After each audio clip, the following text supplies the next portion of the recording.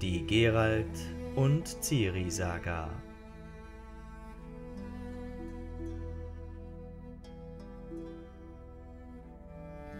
Staffel 1 Folge 3 Etwas mehr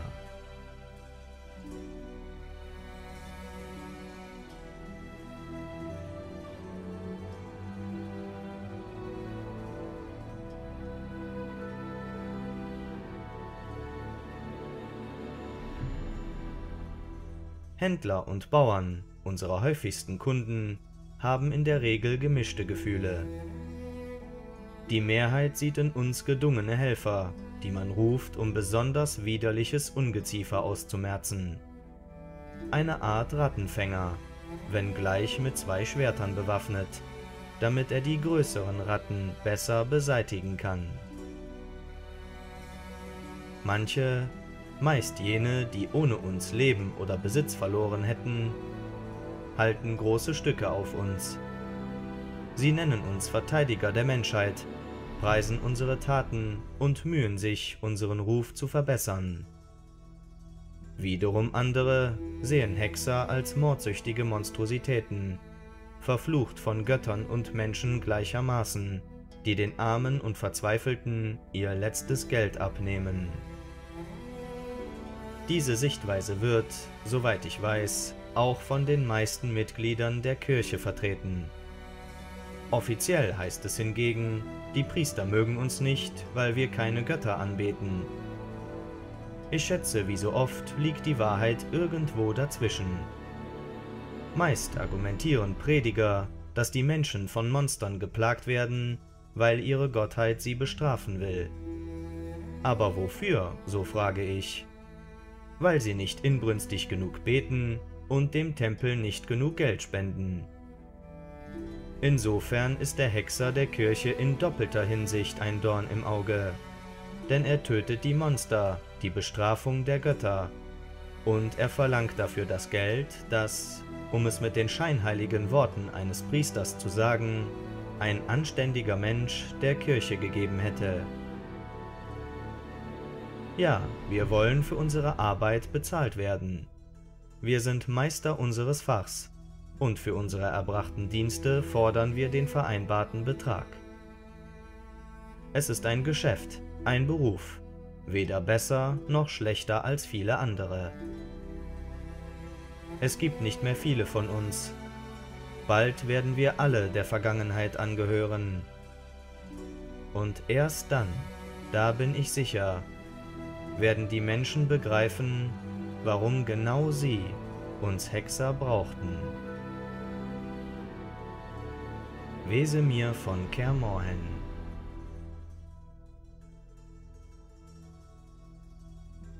Cyrilla Fiona Ellen Rhiannon, geboren 1251, Erbin des Throns von Cintra, Prinzessin von Brugge und Herzogin von Sodden Erbin von Ines Arzgellig und Ines Ansgellig, Surezän von Atre und Abjara, Tochter von Pavetta Fiona Ellen und dem Igel von Erlenwald, Enkelin von Königin Kalante Fiona Rhiannon, der berühmten Löwin von Cintra. Igel und Pavetta kamen auf der Rückreise von Cintra nach Skellige bei einem Schiffsuntergang ums Leben. Cyrillas weitere Erziehung übernahm ihre Großmutter. Im Jahr 1260 schickte Königin Kalante Cyrilla angesichts der Bedrohung durch Nilfgaard an den Hof König Erwüls von Verden, wo die Erbin von Cintra, Prinz Kistrin, den Thronerben von Verden ehelichen sollte. Obwohl die Allianz mit Verden und die Unterstützung durch die Armee dieses Königreichs damals Kalantes wichtigste Anliegen waren, kam die Hochzeit nicht zustande und Cyrilla kehrte an den Hof ihrer Großmutter zurück.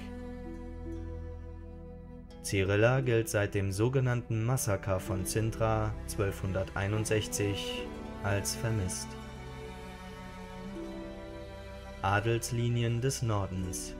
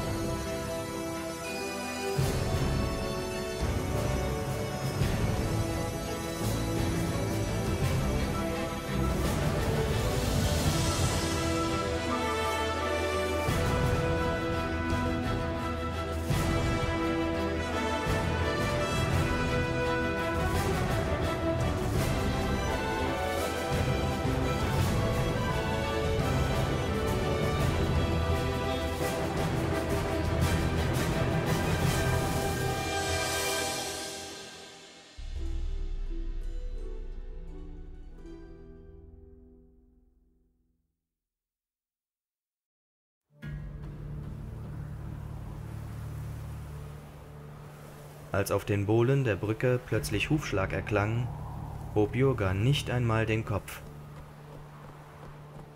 Er ließ das Rad los, mit dem er sich abmühte, und kroch so schnell er nur konnte unter den Wagen. Flach liegend, mit dem Rücken an der rauen Schicht von Schlamm und Dung schabend, die an der Wagenunterseite festklebten, wimmerte er abgehackt und zitterte vor Angst. Das Pferd näherte sich langsam dem Wagen. Jurga sah, wie es feinfühlig und vorsichtig die Hufe auf die angefaulten, moosbewachsenen Balken setzte. Yoga begann mit den Zähnen zu klappern und zog den Kopf zwischen die Schultern. Komm vor. Ruhig, Plötze. Komm da vor, Mann. Ich werde dir nichts zuleide tun. Der Kaufmann glaubte der Erklärung des Unbekannten nicht im geringsten. Ein gutes Dutzend Götter, gleichzeitig halblaut um Hilfe anflehend, steckte Jurga vorsichtig den Kopf unter dem Wagen hervor. Der Reiter hatte Haare weiß wie Milch und einen schwarzen Wollmantel, der auf die Gruppe der kastanienbraunen Stute fiel. Er schaute Jurga nicht an. Im Sattel herübergebeugt, betrachtete er das Wagenrad, das bis an die Narbe zwischen die gebrochenen Bretter der Brücke eingesackt war. Plötzlich hob er den Kopf, musterte den Kaufmann, beobachtete mit reglosem Gesicht das Gebüsch zu beiden Seiten der Schlucht. Yoga kam schwerfällig hervorgekrochen, blinzelte, wischte sich mit der Handfläche über die Nase und verteilte dabei Schmiere von der Radnarbe übers Gesicht. Der Reiter ließ den Blick auf ihm ruhen. Seine Augen waren dunkel, eng, durchdringend, scharf wie Treibstacheln. Schließlich zeigte er auf das eingebrochene Rad. Zu zweit kriegen wir ihn nicht raus. Bist du allein gefahren? Selbst dritt. Mit Knechten, Herr. Aber sie sind weggelaufen, die Mistkerle. Das wundert mich nicht. Ich wundere mich gar nicht über sie. Ich denke, du hättest dasselbe wie sie tun sollen. Es ist höchste Zeit. Der Fremde warf einen Blick unter die Brücke, auf den Grund der Schlucht. Jurga folgte dem Blick des Fremden nicht. Er wollte nicht auf den Haufen Schädel, Rippen und Schienbeine schauen, die zwischen den Steinen verstreut lagen, unter den Kletten und Brennnesseln hervorschauten, welche den Grund des ausgetrockneten Flüsschens überwuchert hatten. Er fürchtete, dass ein weiterer Blick auf die schwarzen Augenhöhlen, die gebleckten Zähne und die geborstenen Knochen reichen würde, dass alles in ihm zerbreche, dass der restliche Mut der Verzweiflung wie die Luft aus einer Fischblase aus ihm entweichen würde, dass er mit einem erstickten Schrei die Straße hin anstürmen würde, zurück, wie es der Kutscher und der Bursche vor einer knappen Stunde getan hatten. Worauf wartest du? Dass es dunkel wird? Dann ist es zu spät. Sie holen dich, sobald es dämmert. Vielleicht auch früher. Vorwärts, spring auf ein Pferd und mir nach. Wir werden beide hier verschwinden. Und zwar schleunigst. Und der Wagen, Herr? Und die Waren? Die ganze Arbeit? Eher will ich verrecken. Ich lass ihn nicht im Stich. Ich glaube, du weißt noch nicht, wohin du geraten bist, Freund. Du willst den Wagen nicht im Stich lassen, sagst du? Und ich sag dir, wenn die Dunkelheit hereinbricht, wird dich nicht einmal der Schatzkönig Desmonds retten, von deinem lausigen Wagen ganz zu schweigen. Zum Teufel, was ist über dich gekommen, dass du den Weg über diese Schlucht abkürzt? Weißt du nicht, was sich hier seit dem Krieg eingenistet hat? Hm. Du weißt es nicht. Aber was da am Grunde liegt, hast du gesehen. Das ist ja kaum zu übersehen. Das sind die, die hier den Weg abgekürzt haben. Und du sagst, du wirst den Wagen nicht im Stich lassen. Was hast du denn eigentlich auf dem Wagen? Yoga betrachtete den Unbekannten finster und versuchte sich zwischen den Versionen Werk und alte Lumpen zu entscheiden. Der Reiter schien sich für die Antwort nicht besonders zu interessieren. Er beruhigte die Stute, die auf der Gebissstange kaute und den Kopf schüttelte. Herr, helft mir, rettet mich. Ich werde euch mein Leben lang dankbar sein. Lasst mich nicht. Was ihr wollt, geb ich. Was immer ihr verlangt. Rettet mich, Herr. Was hast du gesagt? Du gibst, was ich verlange? Wiederhole es. Yoga schluckte laut, machte den offenen Mund zu und bedauerte, dass er keinen Bart hatte, in den er sich hätte spucken können. Im Kopfe schwirrten ihm fantastische Annahmen herum, welche Belohnung der seltsame Fremdling wohl verlangen könnte. Die meisten, nicht ausgenommen das Recht, sich allwöchentlich seiner jungen Frau Zylinder zu bedienen, erschienen indes nicht so schlimm wie die Aussicht, den Wagen einzubüßen, und erst recht nicht so makaber wie die Möglichkeit, als weiteres bleichendes Skelett am Grunde der Schlucht zu enden. Die Routine des Kaufmanns zwang ihn blitzschnell zu kalkulieren.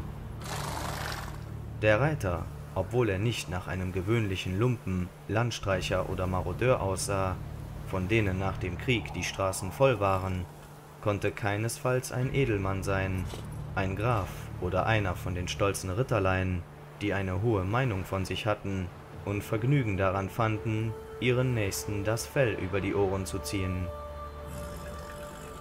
Yoga schätzte ihn nicht höher als 20 Goldstücke ein.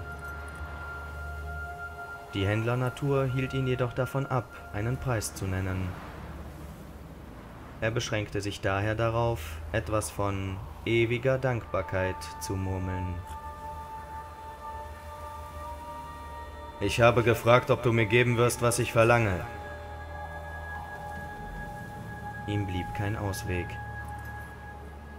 Yoga schluckte den Speichel hinunter, senkte den Kopf und nickte bestätigend.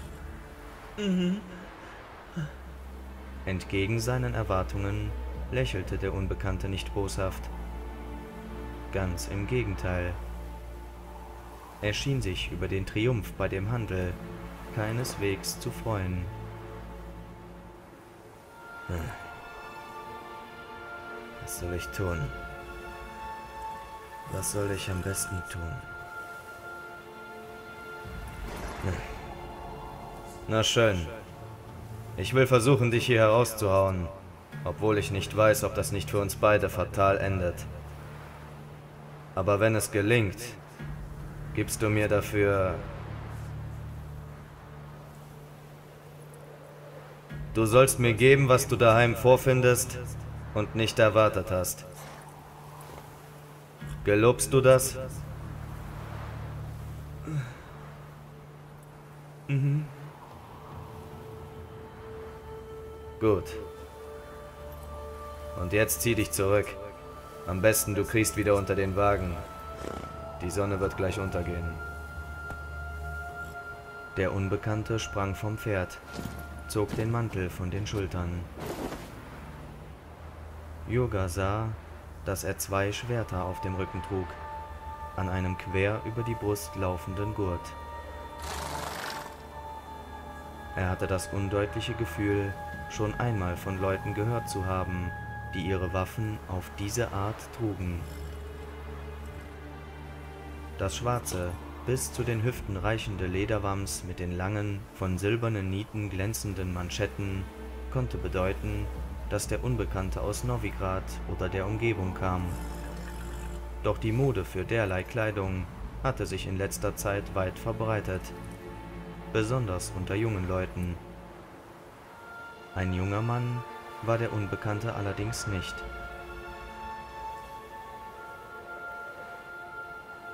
Der Reiter kramte in den Satteltaschen des Pferdes, klemmte sich ein rundes Köfferchen unter den Arm. Noch nicht unterm Wagen? Er kam näher. Yoga bemerkte, dass auf seiner Brust an einer silbernen Kette ein Medaillon pendelte, das einen Wolfskopf mit offener, mit Reißzähnen bewehrter Schnauze darstellte. Plötzlich fiel es ihm ein. Ihr seid ein Hexer, Herr? Erraten. Ein Hexer.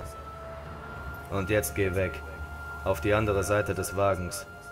Komm dort nicht hervor und sei still. Ich muss einen Augenblick allein sein. Yoga gehorchte. Er kauerte sich neben das Rad, wickelte sich in den Umhang. Er wollte nicht sehen, was der Unbekannte auf der anderen Seite des Wagens tat, und erst recht nicht die Knochen am Grunde der Schlucht. Also schaute er auf seine Stiefel und auf die grünen, sternförmigen Moosstängel, die zwischen den durchgefaulten Brückenbalken hervorwuchsen. Ein Hexer. Es dämmerte.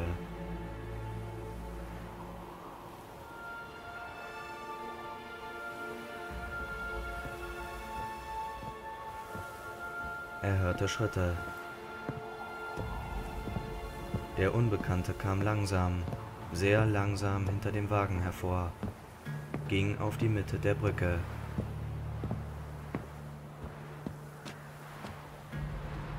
Jurga sah, wie er eines seiner Schwerter auf dem Rücken aus der Scheide zog, während er sich hinkniete, sich auf die Fersen setzte. Das Schwert legte er vor sich auf den Boden. Es war eine schöne Waffe. Knauf, Griff und der Beschlag der Scheide funkelten wie Sterne. Herr? Das Gesicht des Fremden war weiß. Weiß und porig wie Quark, den man abgeschöpft und vom Tuch geschabt hat. Die Venen unter der Haut waren schwarz, besonders an Stirn und Schläfen, durchzogen das Gesicht des Fremden wie dunkle Fäden. Und die Augen Götter! heulte etwas in Yoga auf. Götter! Die Augen!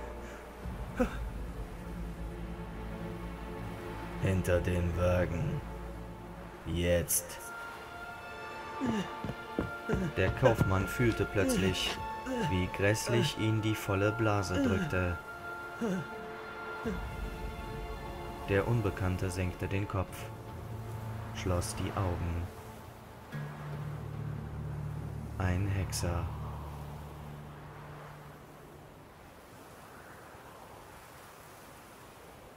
Die Sonne ging unter.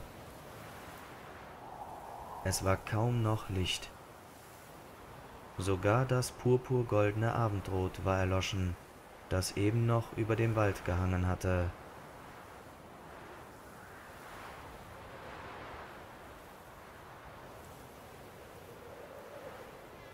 An Yogas Ohr begann eine Mücke zu surren. Der Kaufmann rührte nicht einmal die Hand, um sie zu verscheuchen. Die nächste surrte heran. Ganze Wolken von Mücken surrten in den Büschen auf der anderen Seite der Schlucht. Sie surrten und heulten. Jurga, der die Zähne zusammenpresste, dass es schmerzte, erkannte, dass das keine Mücken waren. Aus der Finsternis, an dem strauchbewachsenen Hang der Schlucht, kamen kleine, missgestaltete Silhouetten hervor. Nicht größer als vier, fünf Fuß, erstaunlich dünn, wie Gerippe. Sie kamen mit sonderbarem, stelzendem Gang, hoben die knochigen Gelenke hoch, mit jähen Bewegungen. Die Augen unter den flachen, zerklüfteten Stirnen glänzten golden. In den breiten Froschmäulern blitzten weiße, spitze Hauer. Sie kamen näher. Der Unbekannte, reglos wie eine Statue mitten auf der Brücke kniend, hob plötzlich die rechte Hand, die Finger seltsam geformt. Die zwergwüchsigen Ungeheuer wichen zurück, drängten aber sofort wieder vorwärts. Schnell, immer schneller. Die langen, knorrigen, krallenbewehrten Pfoten erhoben. Das nächste Monster sprang plötzlich unter der Brücke hervor, und die übrigen stürmten in unheimlichen Sätzen voran. Der Unbekannte erhob sich wie eine Sprungfeder. Das Schwert blitzte auf. Der Kopf des auf die Brücke hochgekletterten Ungeheuers flog einen Klafter weit empor, zog einen Fächer von Blut hinter sich her. Der Weißhaarige sprang mitten in die Gruppe der anderen hinein, wirbelte herum, hieb rasch nach links und rechts zu. Die Ungeheuer, mit den Pfoten fuchtelnd und heulend, stürzten sich von allen Seiten auf ihn, ohne auf die schimmernde Klinge zu achten, die wie ein Rasiermesser schnitt. Yoga kroch in sich zusammen, an den Wagen gepresst. Etwas fiel ihm unmittelbar vor die Füße, bespritzte ihn mit Blut. Es war eine lange, knochige Pfote, mit vier Krallen und hornbedeckt wie ein Hühnerbein. Der Kaufmann fühlte, wie etwas neben ihm vorbeihuschte. Er duckte sich, wollte unter den Wagen kriechen. Doch in diesem Moment landete ein anderes Etwas auf seinem Nacken und eine krallenbewehrte Pfote packte ihn. Er bedeckte die Augen mit der Hand, sprang brüllend und kopfschüttelnd auf und wankte auf die Mitte der Brücke, stolperte dabei über auf den Bohlen liegende Leichen. Auf der Brücke tobte der Kampf. Jurga sah nichts als einen brodelnden Kessel, ein Knäuel, aus dem immer wieder die silberne Klinge aufblitzte. Er fühlte, wie scharfe Krallen das Gewebe seiner Kappe durchdrangen und sich ihm in den Hinterkopf bohrten. Hilfe! Kopf runter! Er presste das Kinn an die Brust und sah aus dem Augenwinkel die Klinge blitzen. Die Schneide pfiff durch die Luft, streifte die Kappe. Er fiel auf die Knie, von der ihm im Nacken hängenden, schon leblosen Last herabgezogen. Der Hexer hatte ihm das Leben gerettet. Doch diese Heldentat lenkte ihn einen minimalen Moment ab. Yoga sah, wie eines der Ungeheuer auf ihn zusprang, nach ihm schlug, sah, wie es ihm eine seiner messerscharfen Klauen durchs Gesicht zog, ihm die linke Wange zerschnitt, dabei das Auge nur um Haaresbreite verfehlte. Der Hexer sprang zur Seite und spaltete das Monster mit dem Schwert in zwei Teile. Blut rann ihm aus der Wunde im Gesicht. Vor Jurgas Augen schossen die nächsten drei Ungeheuer unter der Brücke hervor. Wie seltsame Grashüpfer springend, stürzten sie sich auf den Unbekannten. Einer erhielt einen kurzen Hieb in das aufgerissene Maul, tappte steif noch ein Stück weiter und krachte auf die Balken. Ein anderer, vom äußersten Ende des Schwertes getroffen, fiel krampfhaft zuckend hin. Die übrigen ergossen sich über den Weißhaarigen wie Ameisen, drängten ihn an den Rand der Brücke. Der nächste flog aus dem Klumpen heraus, nach hinten gebogen, blutspritzend, zitternd und heulend. In diesem Augenblick ging der ganze zusammengeballte Klumpen über den Rand der Brücke und stürzte in die Schlucht.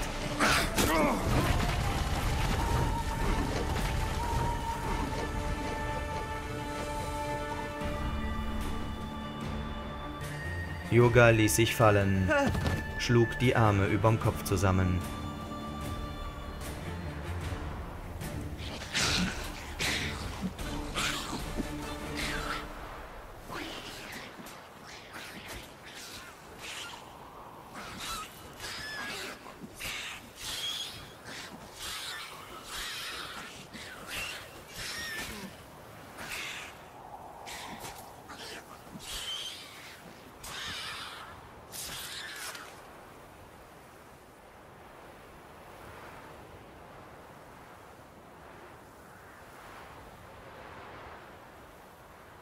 Yoga schluckte, stand mit Mühe auf.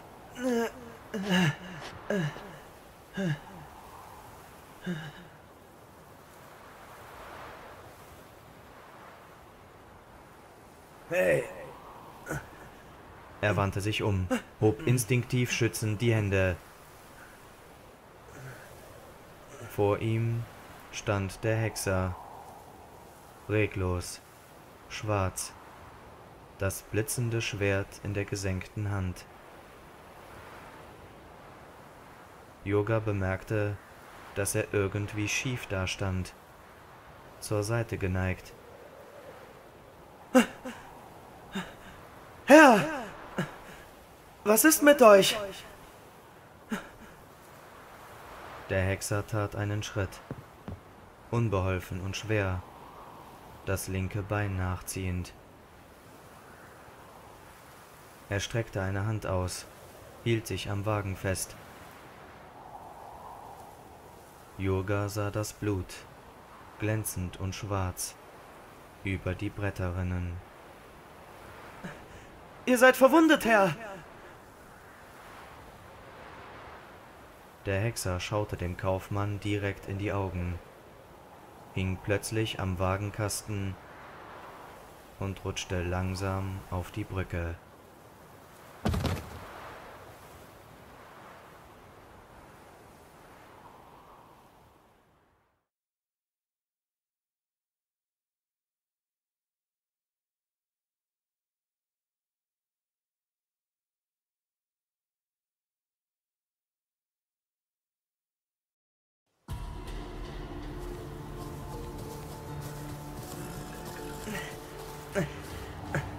Vorsicht! Langsam! Den Kopf stützen! Jemand soll ihm den Kopf stützen! Da, da, auf den Wagen!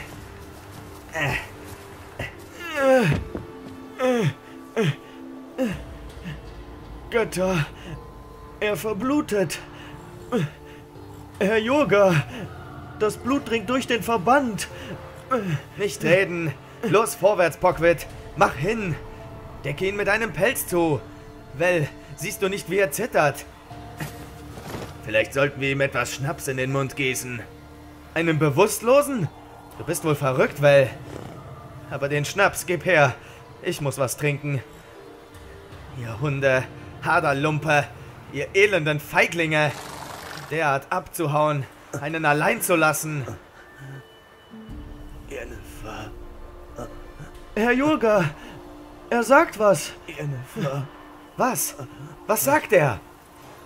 Siri,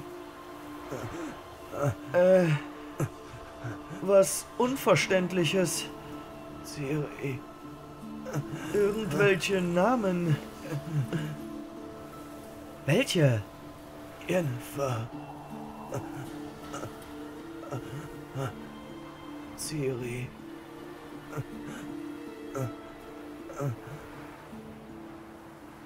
Jennifer.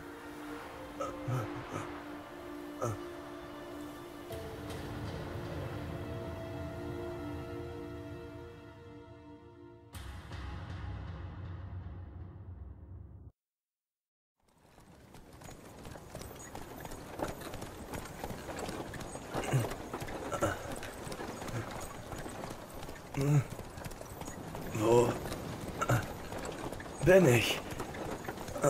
Bleibt liegen, Herr. Bewegt euch nicht. Sonst platzt und reißt alles wieder auf. Diese Mistviecher haben euch im Gesicht erwischt und euch den Schenkel bis auf den Knochen zerbissen. Ihr habt viel Blut verloren. Erkennt ihr mich nicht?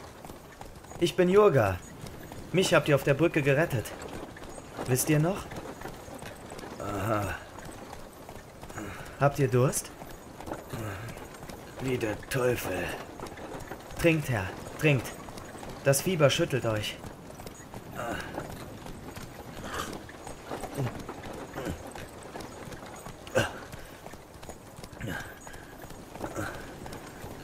Jurga. Wo sind wir? Wir fahren mit dem Wagen.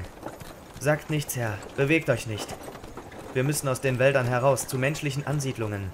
Müssen jemanden finden, der was vom Heilen versteht. Was wir euch ums Bein gewickelt haben, reicht vielleicht nicht. Es blutet immer wieder. Jurga, Ja, Herr. in meinem Köfferchen. Das Fläschchen mit grünem Lack. Reiß das Siegel ab und gib mir in einer Schale. Wasch die Schale gut aus. Lass niemanden die Fläschchen anrühren.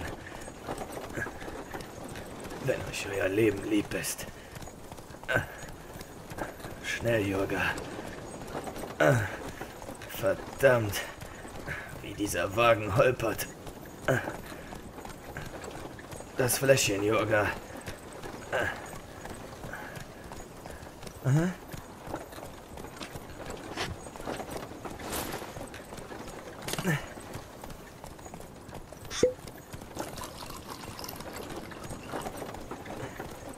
Da.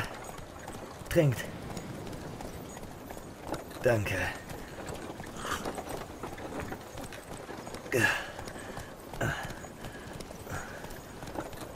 Jetzt pass auf.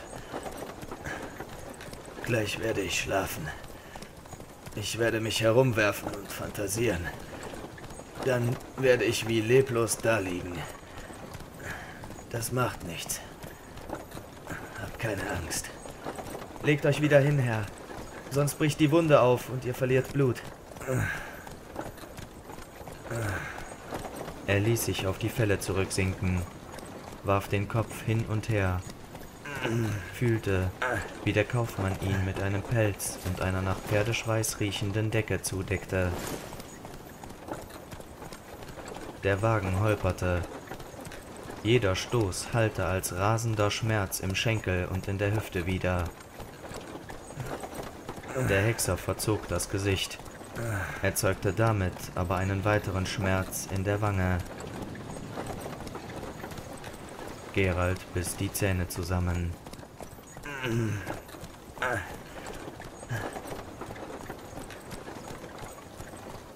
Er hörte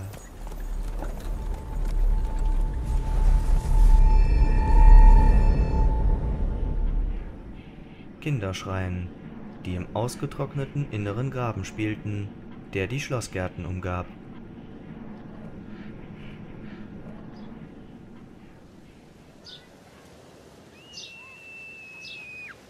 Es waren ungefähr zehn. Die Rotznasen machten einen ohrenbetäubenden Krach, überschrien einander mit dünnen, aufgekratzten, ins Falsett abrutschenden Stimmen. Sie liefen am Grunde des Grabens hin und her, erinnerten an einen Schwarm schneller Fische, die blitzschnell und unerwartet die Richtung wechselten, aber immer beisammen blieben. Wie üblich lief hinter den brüllenden Halbwüchsigen, die dürr waren wie Vogelscheuchen, ein atemloser Kleiner hinterher, ohne sie je einholen zu können. Es sind eine Menge. Moisack lächelte säuerlich, strich sich den Bart, zuckte mit den Schultern. Ja, eine Menge. Und welcher von ihnen... Welcher von diesen Burschen ist das berühmte Überraschungskind? Gerald, ich darf nicht. Galante? Natürlich. Du hast dir doch wohl nicht eingebildet, sie würde dir das Kind einfach so geben. Du hast sie doch kennengelernt. Das ist eine Frau von Eisen. Ich will dir etwas sagen, was ich nicht sagen sollte. In der Hoffnung, dass du verstehst. Ich zähle auch darauf, dass du mich ihr gegenüber nicht verrätst. Red. Als das Kind geboren wurde, vor sechs Jahren, hat sie mich rufen lassen und befohlen, ich sollte dich ausfindig machen. Und umbringen. Du hast abgelehnt. Galante schlägt man nichts ab.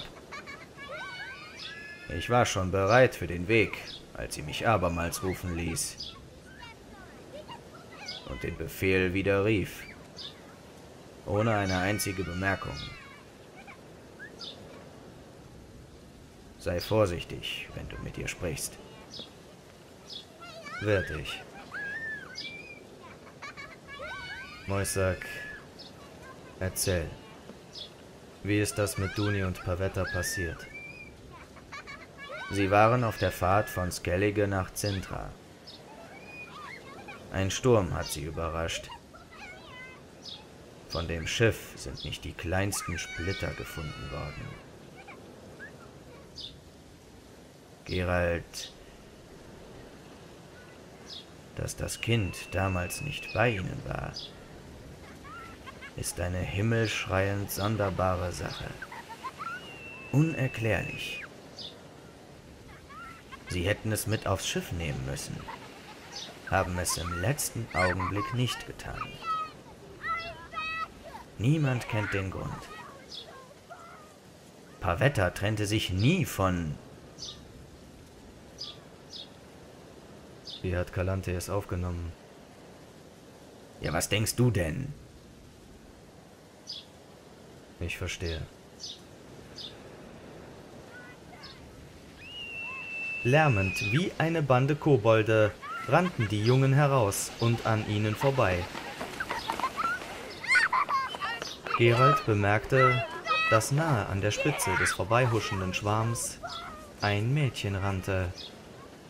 Ebenso dünn und brüllend wie die Jungen, nur mit einem wehenden hellen Zopf.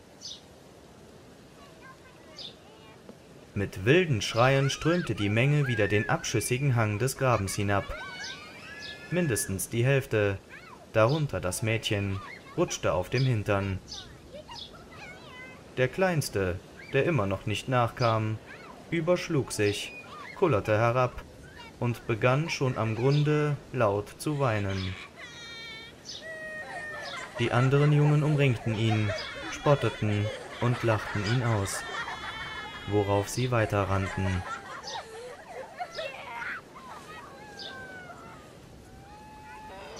Das Mädchen kniete sich neben dem Kleinen hin, umarmte ihn, wischte die Tränen ab, verschmierte auf dem verzogenen Gesichtchen Rotz und Schmutz. Gehen wir, Gerald. Die Königin wartet. Gehen wir, Moisak.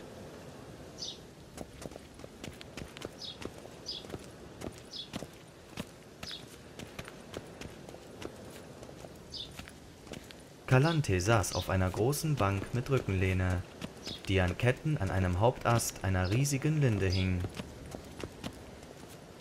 Sie schien zu dösen, doch dem widersprach die kurze Beinbewegung, mit der sie von Zeit zu Zeit die Schaukel in Schwung brachte. Bei ihr waren drei junge Frauen. Eine saß neben der Schaukel im Gras, Ihr ausgebreitetes Kleid glänzte auf dem Grün so weiß wie ein Fleckchen Schnee. Die beiden anderen, nicht weit entfernt, plapperten, während sie vorsichtig die Zweige an Himbeersträuchern zur Seite schoben. Moisak verneigte sich. Herrin? Die Königin hob den Kopf. Gerald kniete nieder. Der Hexer. Wie früher schmückte sie sich mit Smaragden, die zu dem grünen Kleid passten, und zu ihrer Augenfarbe. Wie früher trug sie einen schmalen goldenen Reif auf dem aschblonden Haar. Die Hände aber, die er weiß und schmal in Erinnerung hatte, waren nicht mehr so schmal. Sie hatte zugenommen. Sei gegrüßt, Kalante von Sintra. Willkommen, Gerald von Riva. Steh auf. Ich habe dich erwartet. Moisak, Freund. Führ die Damen ins Schloss. Wie ihr befehlt, Majestät.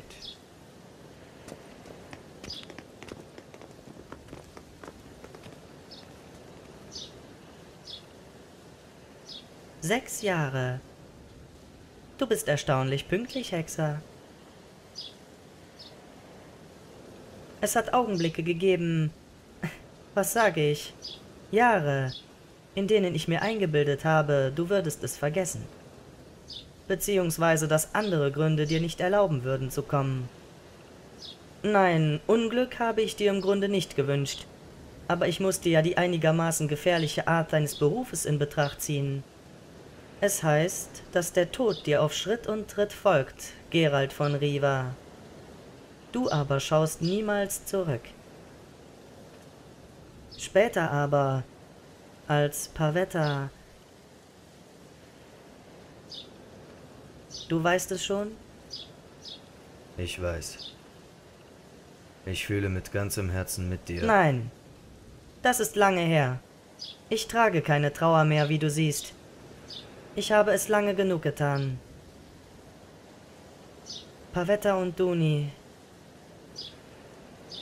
Füreinander bestimmt. Bis zum Ende. Wie soll man da nicht an die Macht der Vorsehung glauben?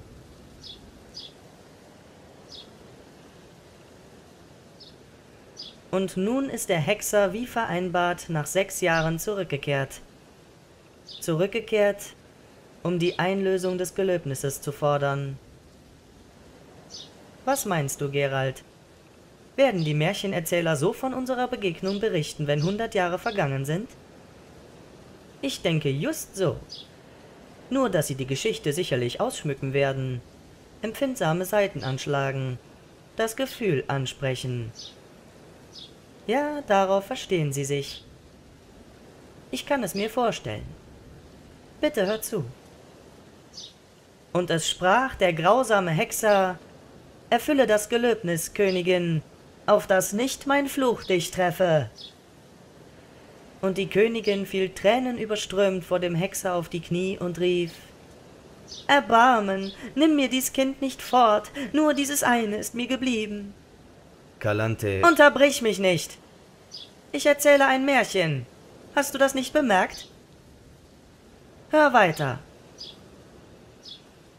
Der böse, grausame Hexer stampfte mit dem Fuß auf, fuchtelte mit den Armen und schrie Hüte dich, Ungetreue, fürchte die Rache des Schicksals, so du das Gelöbnis nicht erfüllst, wirst du der Strafe nicht entgehen.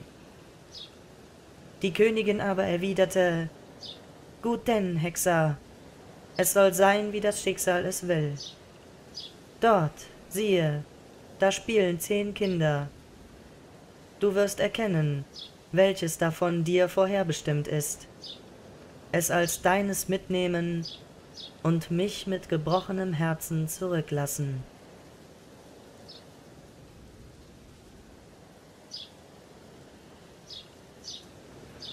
Im Märchen würde die Königin, wie ich mir vorstelle, dem Hexer erlauben, dreimal zu raten.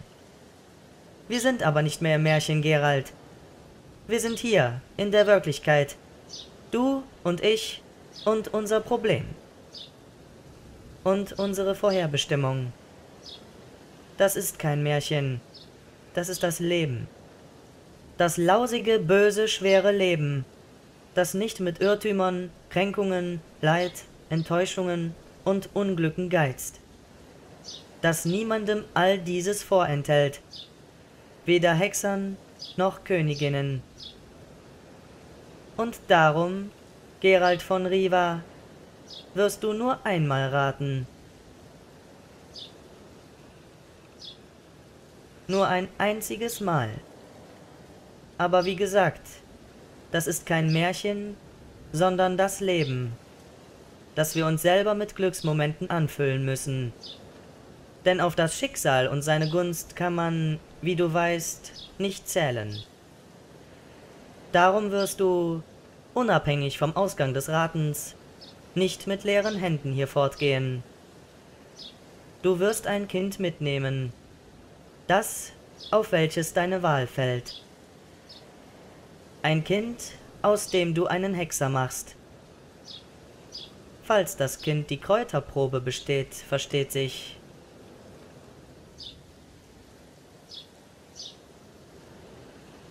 Du wunderst dich. Nun ja, ich habe mich ein wenig kundig gemacht.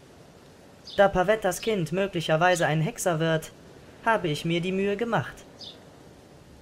Meine Quellen, Gerald, schweigen aber darüber, wie viel Kinder von zehn die Kräuterprobe überstehen. Willst du nicht meine Neugier in dieser Hinsicht befriedigen? Majestät, ihr habt euch bei euren Nachforschungen sicherlich genug Mühe gemacht, um zu wissen, dass mein Kodex und mein Eid mir verbieten, diese Bezeichnung auch nur zu nennen geschweige denn darüber zu diskutieren. Drei von zehn. Eine scharfe Auslese. Eine sehr scharfe, würde ich sagen. Und das auf jeder Etappe. Zuerst die Auswahl, dann die Proben und dann die Umwandlungen. Wie viele Halbwüchsige erhalten am Ende Medaillons und silberne Schwerter? Einer von zehn? Einer von 20? Ich habe lange darüber nachgedacht und bin zu dem Schluss gelangt, dass die Auslese der Kinder in der Etappe der Auswahl vernachlässigbar ist. Welchen Unterschied macht es schließlich aus, was das für ein Kind ist, das da vollgestopft mit Narkotika stirbt oder verrückt wird? Was macht es, wessen Hirn im Fieberwahn birst, wessen Augen platzen und auslaufen, statt Katzenaugen zu werden. Ist da ein Unterschied, ob das Kind, das am eigenen Blut und Erbrochenen erstickt, wirklich von der Vorsehung bestimmt oder ein rein zufällig ausgewähltes Kind ist? Antworte mir. Wozu? Erwartet ihr eine Antwort? Stimmt. Ich erwarte keine. Wie immer bist du unfehlbar in deinen Schlussfolgerungen. Aber wer weiß, vielleicht wäre ich, ohne eine Antwort zu erwarten, geneigt, deinen freiwilligen und aufrichtigen Worten einige Aufmerksamkeit zu widmen. Den Worten, die du, wer weiß, vielleicht gern von dir geben möchtest. Und mit ihnen das, was dir die Seele bedrängt. Aber wenn nicht, dann eben nicht. Weiter. Machen wir uns an die Arbeit. Wir müssen die Märchenerzähler mit Stoff versorgen. Gehen wir das Kind auswählen, Hexer. Galante. Es lohnt nicht, sich um die Märchenerzähler zu sorgen. Wenn ihnen das Material nicht reicht, denken sie sich sowieso was aus. Wenn sie aber authentisches Material zur Verfügung haben, verhunzen sie es. Wie ihr richtig bemerkt habt, das ist kein Märchen, sondern das Leben. Hässlich und schlecht. Also wollen wir es verdammt nochmal halbwegs anständig und gut leben. Die Menge der Kränkungen, die wir anderen antun, auf das unvermeidliche Mindestmaß beschränken. Im Märchen, gewiss, da muss die Königin den Hexer anflehen. Und der Hexer muss verlangen, was ihm zusteht und mit dem Fuß aufstampfen. Im Leben kann die Königin einfach sagen, nimm das Kind nicht fort, bitte. Und dann antwortet der Hexer, da du bittest, nehme ich es nicht. Und geht weg. der untergehenden Sonne nach. Einfach das Leben. Aber für so einen Schluss des Märchens würde der Erzähler von den Zuhörern keinen roten Heller kriegen, höchstens einen Tritt in den Hintern, weil er langweilig ist. Was soll das heißen? Lass uns nicht um den heißen Brei herumreden, Kalante. Du weißt, was ich meine. Wie ich hergeritten bin, werde ich wegreiten. Ich soll ein Kind auswählen?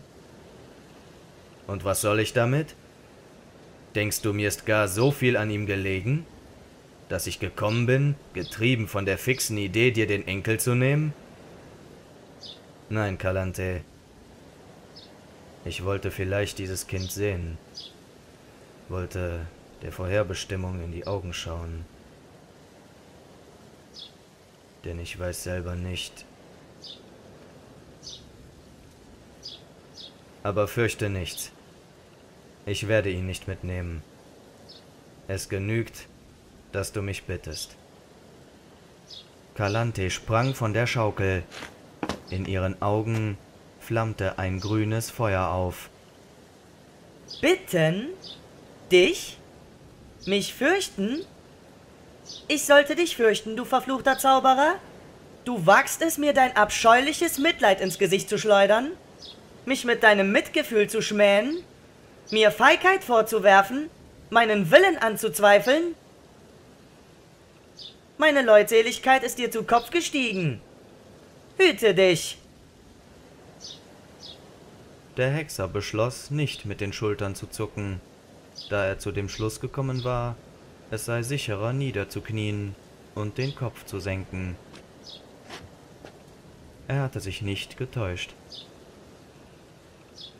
Kalante, die vor ihm stand, hatte die Hände gesenkt, zu ringbesetzten Fäusten geballt. Na also. Na endlich. Das ist die richtige Haltung. Aus dieser Haltung heraus antwortet man einer Königin, wenn einem die Königin eine Frage stellt. Und wenn es keine Frage ist, sondern ein Befehl, neigst du den Kopf noch tiefer und gehst ihn ausführen. Unverzüglich. Hast du verstanden? Ja, Majestät. Sehr gut. Steh auf.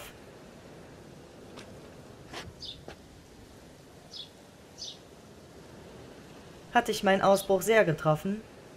Ich meine die Form, nicht den Inhalt. Nicht sehr. Gut.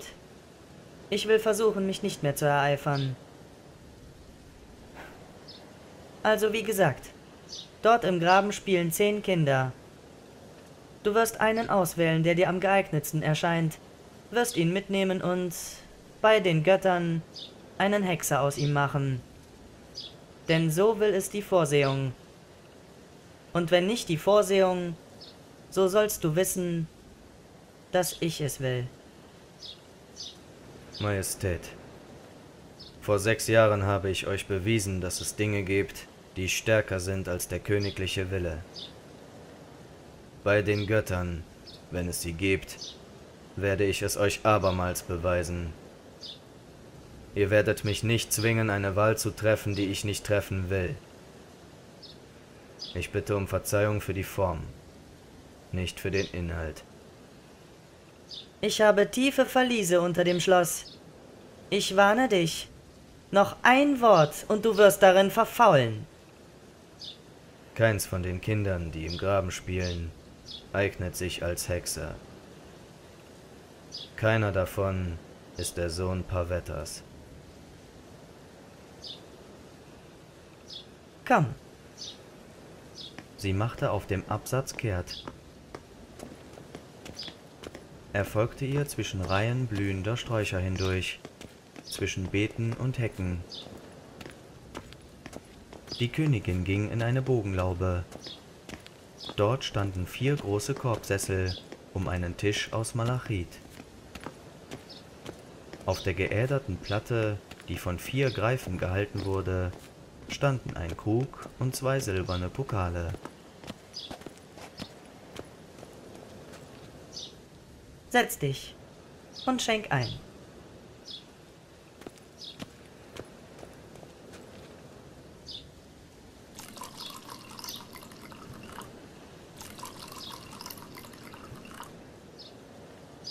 Sie trank ihm zu. Heftig, solide, wie ein Mann. Er tat es desgleichen, ohne sich zu setzen. Setz dich. Ich will mit dir reden. Ich höre. Woher wusstest du, dass keins der Kinder im Graben Pavettas Sohn ist? Ich wusste es nicht. Ich habe geraten. Aha. Das hätte ich mir denken können. Und dass keins von ihnen sich als Hexer eignet? Ist das wahr? Und wie konntest du das feststellen? Mit Magie? Kalante. Ich brauchte das weder festzustellen noch nachzuprüfen. Was ihr vorhin gesagt habt, war die reine Wahrheit. Jedes Kind eignet sich. Es entscheidet die Auslese. Später. Bei den Göttern des Meeres, wie mein andauernd abwesender Mann zu sagen pflegt. Also ist das alles nicht wahr? Das ganze Gesetz der Überraschung? Die Legenden von Kindern, die jemand nicht erwartet hat? Und von denen, die einem zuerst entgegenkommen? Das habe ich geahnt. Es ist ein Spiel. Ein Spiel mit dem Zufall, mit dem Schicksal. Aber das ist ein verteufelt gefährliches Spiel, Gerald.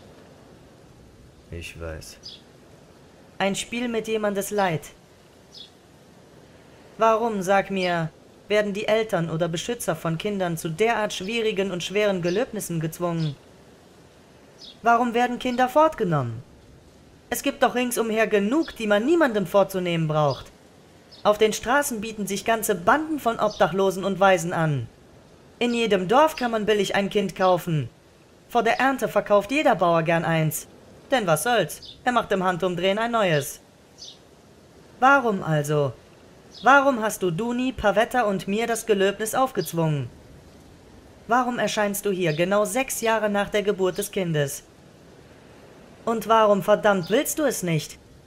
Warum sagst du, dir sei nicht an ihm gelegen?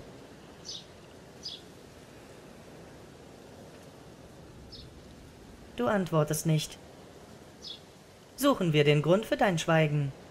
Die Logik ist die Mutter allen Wissens. Und was sagt sie uns? Was haben wir hier? Einen Hexer, der eine im sonderbaren und zweifelhaften Gesetz der Überraschung verborgene Vorherbestimmung sucht. Der Hexer findet diese Vorherbestimmung und verzichtet plötzlich darauf. Er will, wie er behauptet, das Überraschungskind nicht. Sein Gesicht ist steinern, in seiner Stimme klingen Eis und Metall. Er denkt, dass die Königin, immerhin eine Frau, sich täuschen, sich vom Anschein harter Männlichkeit irreführen lässt. Nein, Gerald, ich werde dich nicht schonen. Ich weiß, warum du auf die Wahl des Kindes verzichtest. Du verzichtest, weil du nicht an die Vorherbestimmung glaubst weil du dir nicht sicher bist.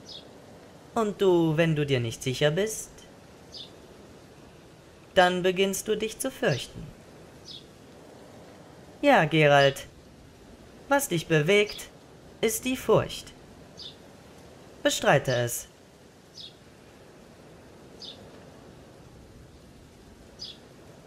Du bestreitest es nicht? Nein. Du hast in meinen Augen gewonnen.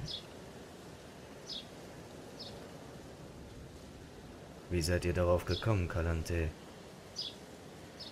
Ich bin nicht darauf gekommen. Ich habe geraten.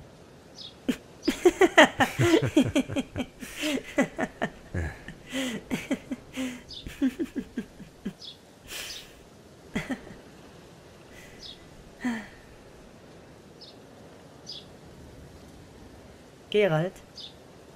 Ja, Kalante. Du glaubst nicht an die Vorherbestimmung?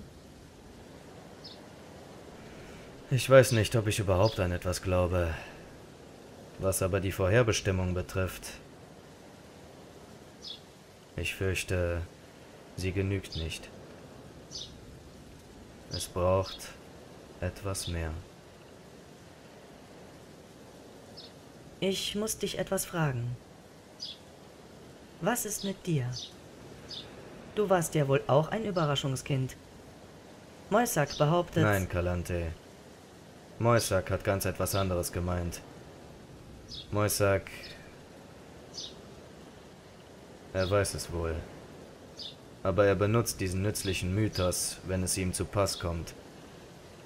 Es ist nicht wahr, dass ich derjenige gewesen wäre, den man zu Hause antraf und mit dem man nicht gerechnet hatte. Es ist nicht wahr, dass ich eben darum Hexer geworden wäre. Ich bin ein gewöhnliches Findelkind, Kalante. Der unerwünschte Bankert einer Frau, an die ich mich nicht erinnere. Aber ich weiß, wer sie ist. Sind alle Geschichten vom Gesetz der Überraschung Legenden? Alle. Den Zufall kann man schwerlich Vorherbestimmung nennen. Aber ihr Hexer hört nicht auf zu suchen. Wir hören nicht auf. Doch es hat keinen Sinn. Nichts hat Sinn. Ihr glaubt, dass ein Kind der Vorsehung die Proben ohne Gefahr durchmachen könnte? Wir glauben, dass bei einem solchen Kind keine Proben erforderlich wären. Eine Frage, Gerald. Ziemlich persönlich. Du erlaubst? Ja. Es gibt bekanntlich keine bessere Methode, Eigenschaften zu vererben, als die natürliche. Du hast die Proben durchgemacht und überlebt. Wenn dir also an einem Kind gelegen ist, das bestimmte Eigenschaften und Widerstandskräfte hat, Warum suchst du dir keine Frau, die... Ich bin taktlos, was? Aber anscheinend habe ich es erraten. Wie immer seid ihr unfehlbar in euren Schlussfolgerungen, Kalante. Ihr habt es erraten. Natürlich. Das, wovon ihr sprecht, ist mir verwehrt. Entschuldige, nun ja, das ist menschlich. Das ist nicht menschlich. Ach, also kann kein Hexer... Keiner. Die Kräuterprobe, Kalante, ist schrecklich. Und was mit den Jungen während der Umwandlungen geschieht, ist noch schlimmer. Und unumkehrbar. Werd nur nicht rührselig, denn das passt nicht zu dir. Egal, was mit dir gemacht worden ist, ich sehe das Ergebnis. Für meinen Geschmack durchaus zufriedenstellend. Wenn ich Grund zu der Annahme hätte, dass Pavettas Kind eines Tages dir ähnlich würde, würde ich keinen Augenblick zögern. Das Risiko ist zu groß. Wie ihr gesagt habt, es überleben höchstens drei von zehn. Zum Teufel! Ist denn nur die Kräuterprobe riskant? Gehen nur die künftigen Hexer ein Risiko ein? Das Leben ist voller Risiken. Im Leben findet auch ständig eine Auslese statt, Gerald. Ein unglücklicher Zufall, eine Krankheit, ein Krieg. Sich dem Schicksal zu widersetzen, kann ebenso riskant sein, wie sich ihm anzuvertrauen. Gerald, ich würde dir dieses Kind geben. Aber ich habe auch Angst. Ich würde das Kind nicht nehmen. Ich könnte die Verantwortung nicht auf mich nehmen. Ich wäre nicht bereit, sie euch aufzubürden. Ich möchte nicht, dass dieses Kind eines Tages an euch denkt wie... wie ich. Hast du diese Frau, Gerald? Meine Mutter? Nein, Kalante. Ich kann mir denken, dass sie vor der Wahl stand. Vielleicht blieb ihr keine Wahl. Hm, nein, sie konnte wählen. Ihr wisst ja, dass es nur einen passenden Zauberspruch oder ein Elixier braucht. Die Wahl. Eine Wahl, die man achten muss.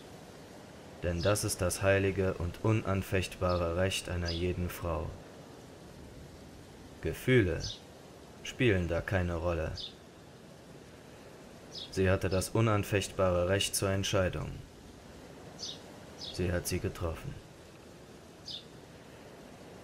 Aber ich denke, eine Begegnung mit ihr, das Gesicht, das sie jetzt machen würde,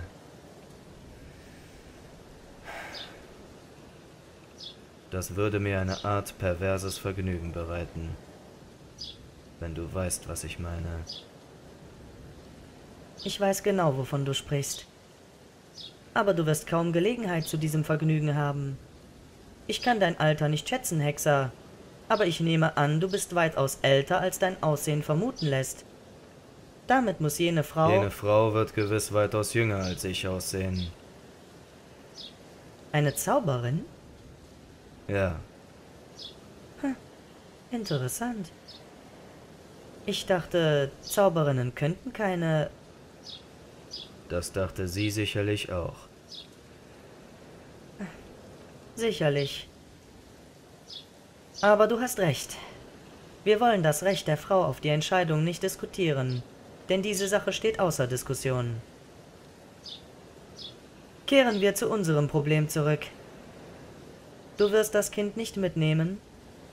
Unwiderruflich? Unwiderruflich.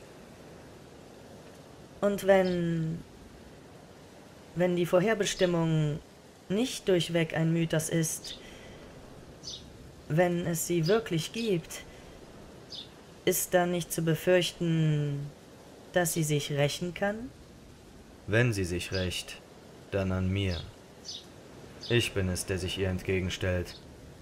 Ihr habt schließlich euren Teil der Verpflichtung erfüllt. Wenn aber die Vorherbestimmung keine Legende ist, hätte ich unter den von euch bestimmten Kindern das Richtige auswählen müssen. Ist Pavettas Kind also doch unter ihnen? Ja. Willst du es sehen? Willst du der Vorsehung ins Auge blicken? Nein, ich will nicht. Ich verzichte. Ich entsage. Ich entsage diesem Jungen. Ich will der Vorsehung nicht ins Auge blicken denn ich glaube nicht an sie. Denn ich weiß, dass um zwei Menschen zu verbinden, Vorherbestimmung allein nicht ausreicht. Es braucht etwas mehr als Vorherbestimmung. Ich spotte über die Vorsehung. Ich werde ihr nicht folgen wie ein Blinder, den man an der Hand führt, der nichts versteht und naiv ist. Das ist mein unumstößlicher Entschluss. Calante von Sintra. So soll es denn sein, Gerald von Riva. Vielleicht war es dir gerade vorherbestimmt, zu entsagen und zu verzichten. Ich glaube, genau so war es. Denn du sollst wissen, wenn du gewählt hättest, wenn du den Regeln gemäß gewählt hättest, dann hätte die Vorsehung, der du spottest, sich einen grausamen Scherz mit dir gemacht. Er schaute in ihre smaragdgrünen Augen. Sie lächelte. Er konnte dieses Lächeln nicht entziffern. Neben der Laube wuchs ein Rosenstrauch. Er brach einen Stängel, pflückte die Rose, kniete nieder bot sie ihr dar, den Kopf gesenkt. Sie nahm die Rose aus seiner Hand und hob sie an ihr Gesicht. Schade, dass ich dir nicht früher begegnet bin, Weißhaariger. Steh auf. Wenn du deine Meinung änderst, wenn du dich entschließt, komm wieder nach Zintra. Ich werde warten. Und auch deine Vorherbestimmung wird warten. Vielleicht nicht endlos, aber gewiss noch einige Zeit. Lebt wohl, Kalante. Leb wohl, Hexer. Gib auf dich acht. Ich habe... Eben hatte ich ein Vorgefühl. Eine seltsame Ahnung, dass ich dich zum letzten Mal sehe. Lebt wohl, Majestät.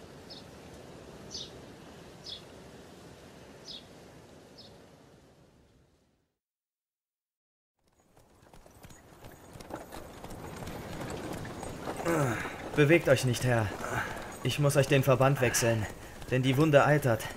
Und das Bein schwillt euch fürchterlich an. Ah. Götter, sieht das übel aus. Wir müssen so schnell wie möglich einen Arzt finden. Pfeif auf den Arzt.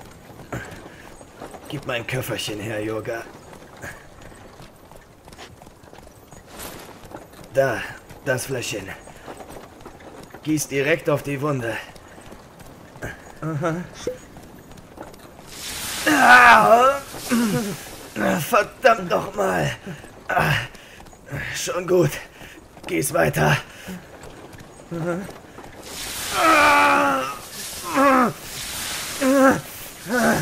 In Ordnung. In Ordnung.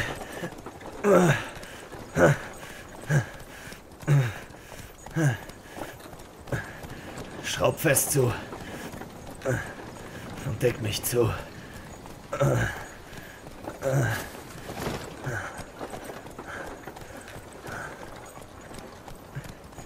Der ganze Schenkelherr ist angeschwollen.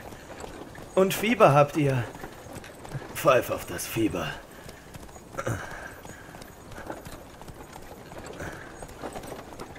Jurga, Ja, Herr? ich hab vergessen, dir zu danken. Nicht ihr habt zu danken, Herr, sondern ich. Ihr wart es, der mir das Leben gerettet hat. Bei meiner Verteidigung habt ihr Schaden genommen. Und ich? Was habe ich denn getan? Dass ich einen Verletzten, wie er bewusstlos war, verbunden hab, auf den Wagen gelegt, ihn nicht hab verrecken lassen? Das ist was ganz Gewöhnliches, Herr Hexer. So gewöhnlich nun auch wieder nicht, Jurga. Ich bin schon liegen gelassen worden. Ähnlichen Situationen. Wie ein Hund.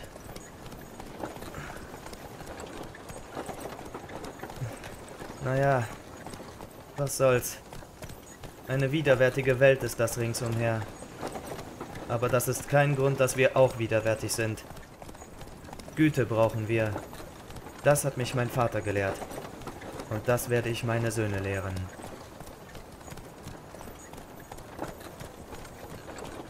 Der Hexer betrachtete die Baumäste, die über die Straße hingen und weiter wanderten, als der Wagen vorankam. Der Schenkel wurde taub. Er spürte keinen Schmerz.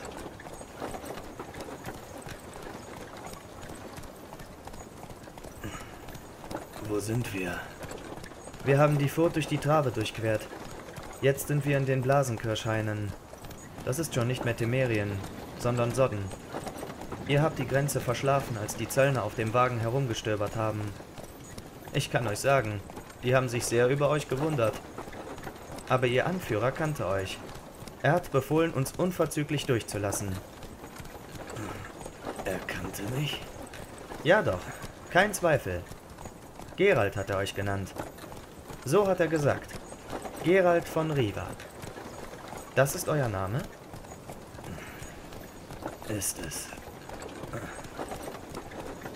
Dieser Zöllner hat versprochen, jemanden mit der Botschaft vorauszuschicken, dass ein Arzt gebraucht wird. Und ich habe ihm noch was in die Hand gedrückt, dass er es nicht vergisst. Ich danke dir, Jurga. Nein, Herr Hexer. Wie ich schon gesagt habe, ich danke euch. Und nicht nur das. Ich schulde euch noch was. Wir haben abgemacht. Was ist euch, Herr? Ist euch nicht gut? Yoga. Das Fläschchen mit dem grünen Siegel. Herr, ihr werdet wieder. Ihr habt da so schrecklich im Schlafe geschrien. Ich muss, Yoga. Wie ihr wollt. Wartet. Ich gieße es gleich in die Schale. Bei den Göttern. Einen Arzt brauchen wir. Schleunigst. Sonst.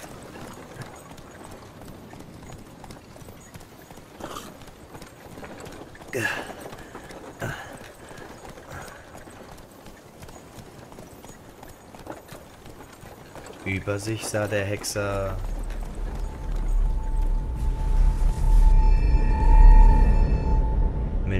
Milliarden Sterne.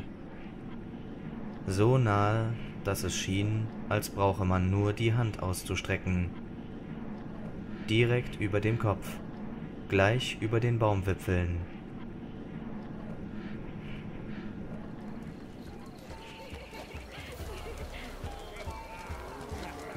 Er ging und wählte seinen Weg so, dass er sich vom Licht, vom Feuerschein fernhielt, dass er sich immer im Bereich der schwankenden Schatten befand. Das war nicht leicht. Stöße von Tannenstämmen brannten überall in der Umgebung, schleuderten roten Feuerschein gen Himmel, mit Funken durchsetzt, markierten die Dunkelheit mit helleren Rauchwimpeln warfen Lichtblitze auf die ringsum tanzenden Silhouetten.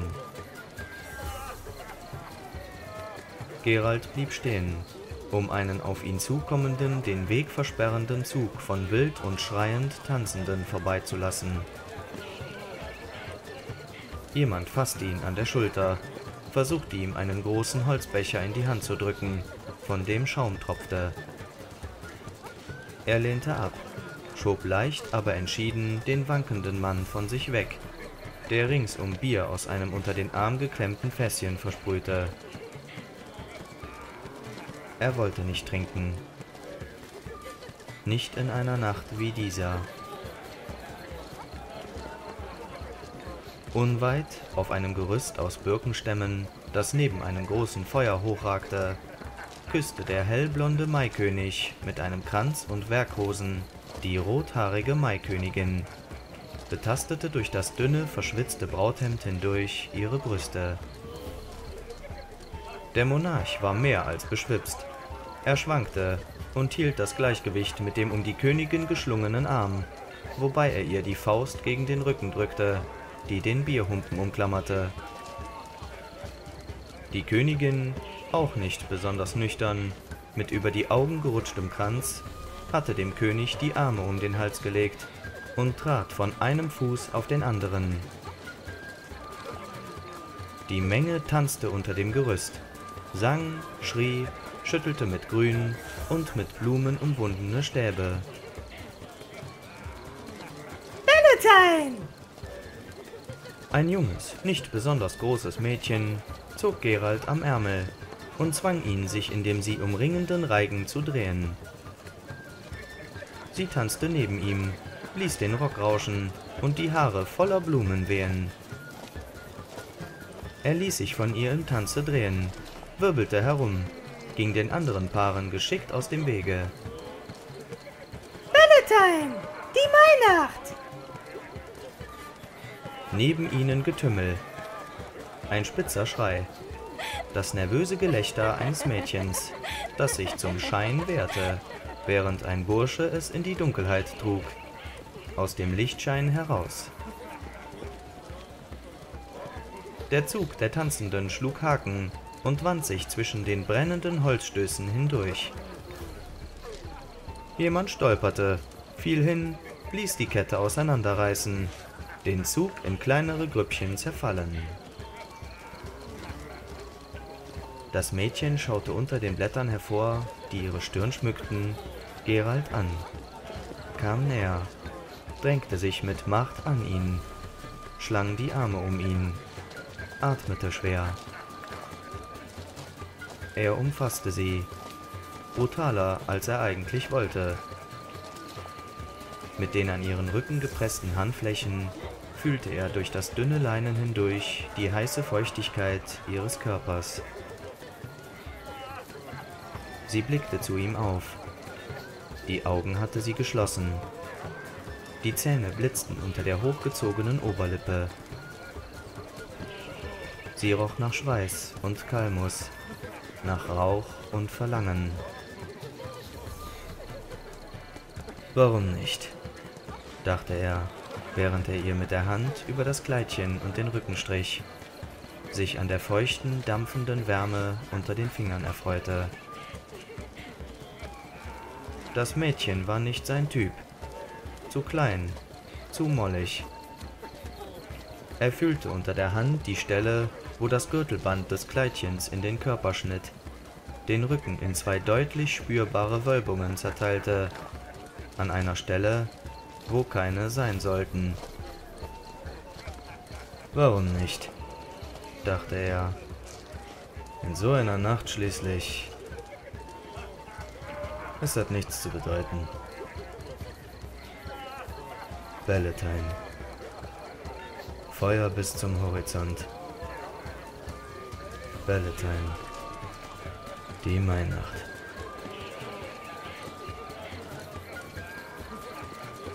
Der nächste Stoß fraß krachend die ihm zugeworfenen, trockenen, aufgegangenen Kienäpfel, verströmte goldene Helligkeit, tauchte alles in Licht.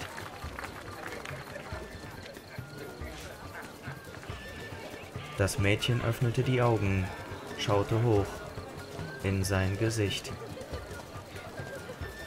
Er hörte sie laut Luft holen, fühlte, wie sie sich straffte, wie sie heftig die Hände gegen seine Brust stemmte. Er ließ sie sofort los. Sie zögerte. Sie neigte den Oberkörper auf die Länge der leicht gestreckten Arme zurück, ohne die Hüften von seinem Schenkel zu lösen.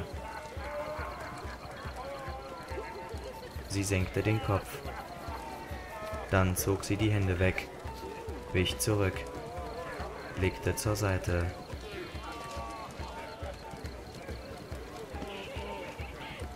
Eine Weile standen sie reglos da, bis der zurückkehrende Reigen wieder auf sie traf, sie in Bewegung versetzte, sie trennte. Rasch wandte sich das Mädchen ab, lief weg, versuchte sich unbeholfen den Tanzenden anzuschließen.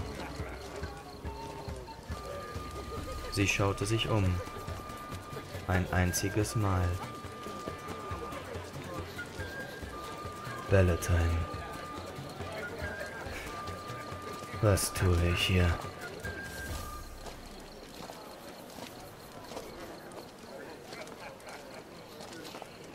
In der Finsternis glomm ein Stern auf, funkelte, wandte den Blick. Das Medaillon am Halse des Hexers zuckte. Instinktiv weitete Gerald die Pupillen durchdrang mit seinem Blick mühelos das Dunkel. Die Frau war keine Bäuerin. Bäuerinnen trugen keine schwarzen Samtumhänge.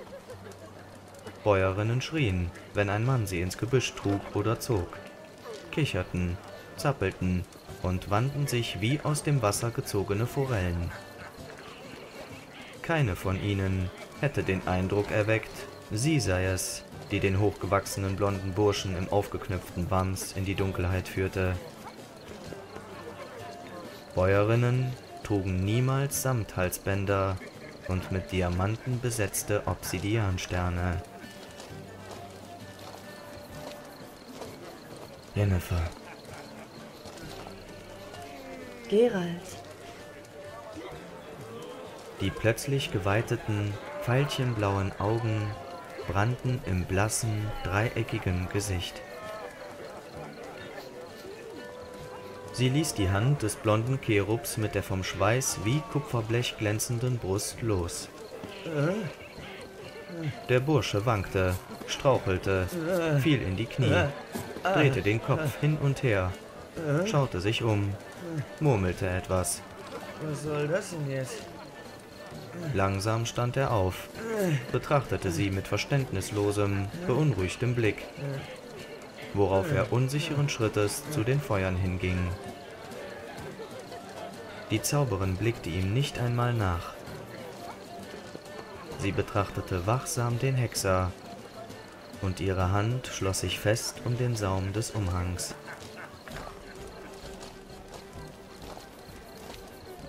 Schön dich wiederzusehen. Und überhaupt, eine durchweg nette Überraschung. Ja doch. Was tust du hier, Gerald? Ach, entschuldige die dumme Frage. Natürlich tust du das gleiche wie ich. Es ist ja Ballantyne. Nur, dass du mich, sagen wir, auf frischer Tat ertappt hast. Ich habe dich gestört. Ich werd's aushalten. Die Nacht ist noch lang. Wenn ich will, verzaubere ich den nächsten. Schade, dass mir das nicht gelingt. Eben hat er eine im Licht meiner Augen gesehen und ist weggelaufen. Gegen Morgen, wenn sie richtig in Fahrt gekommen sind, werden sie nicht mehr drauf achten. Du findest schon noch was. Du wirst sehen. Jen,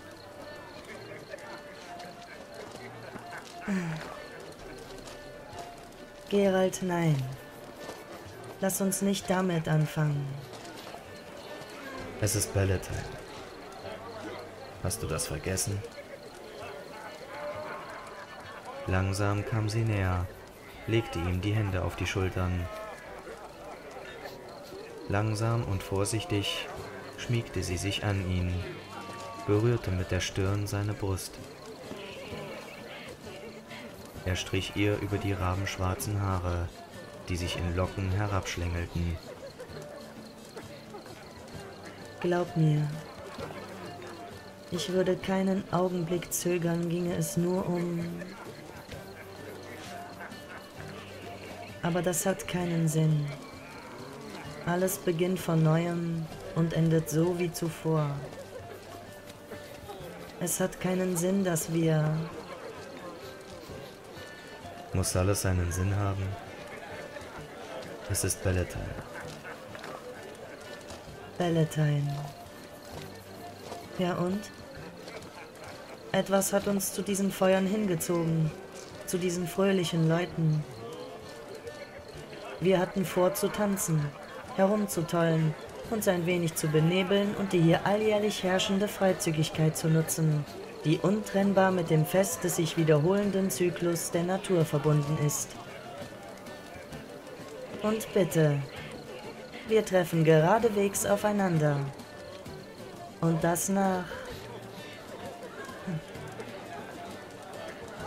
Wie lange ist das her? Ein Jahr? Ein Jahr, zwei Monate, 18 Tage.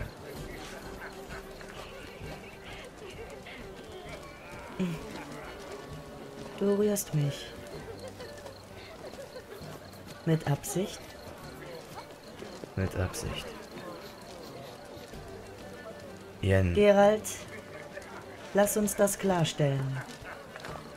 Ich will nicht. er nickte zum Zeichen, dass es hinreichend klargestellt sei. Jennifer warf den Umhang zurück.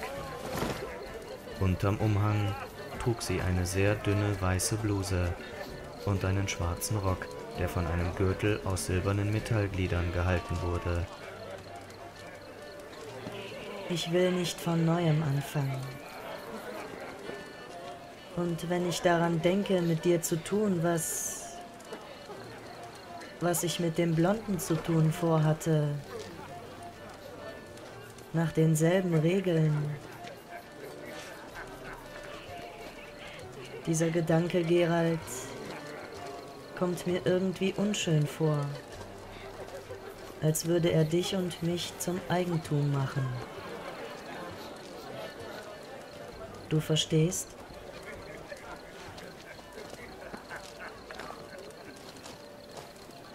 Du wirst nicht weggehen? Nein. Bist du böse? Nein. Na dann komm. Setzen wir uns irgendwo hin, abseits von diesem Getümmel, und reden wir ein Weilchen. Denn weißt du, ich freue mich über diese Begegnung. Wirklich. Lass uns eine Weile beisammensitzen. Gut? Gut, ja.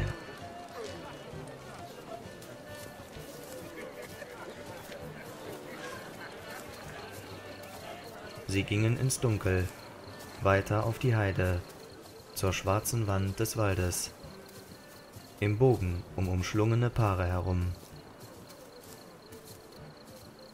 Um einen Platz für sich allein zu finden, mussten sie weit gehen. Ein trockenes Hügelchen, mit Wacholderbüschen bewachsen, dunkel wie Zypressen. Die Zauberin löste die Brosche des Umhangs, schüttelte ihn, breitete ihn auf dem Boden aus.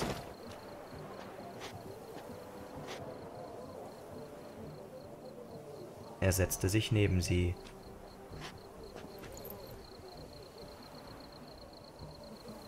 Hätte sehr gern den Arm um sie gelegt, doch zum Trotz tat er es nicht.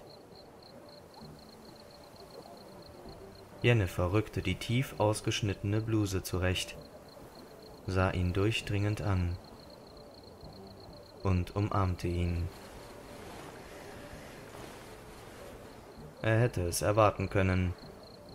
Um Gedanken zu lesen, musste sie sich anstrengen, doch Absichten spürte sie instinktiv.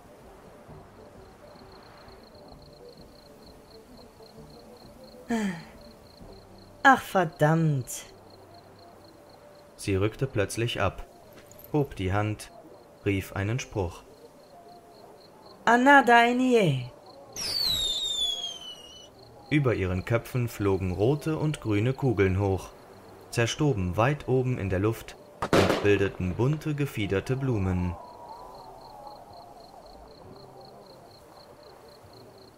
Valentine.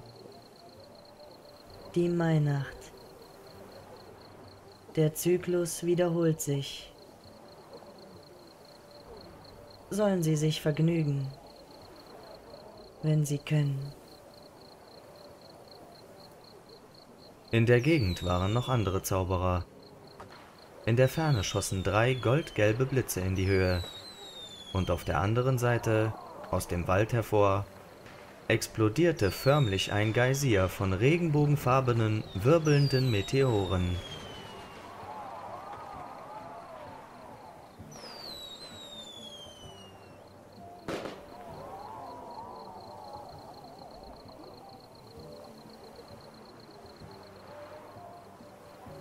Gerald nahm sich zusammen, strich Jennifer über die Locken, atmete den Duft von Flieder und Stachelbeeren ein den sie verströmten. Wenn ich zu heftig nach ihr verlange, dachte er, spürt sie das sofort. Sie wird stutzig, igelt sich ein und stößt mich weg. Ich werde ruhig fragen, was es bei ihr Neues gibt. Bei mir gibt's nichts Neues. Nichts, das zu erzählen sich lohnen würde. Mach das nicht mit mir, Jen. Lies mich nicht. Das macht mich wütend. Entschuldige, die Gewohnheit. Und bei dir, Gerald? Was gibt's Neues? Nichts. Nichts, was zu erzählen sich lohnen würde.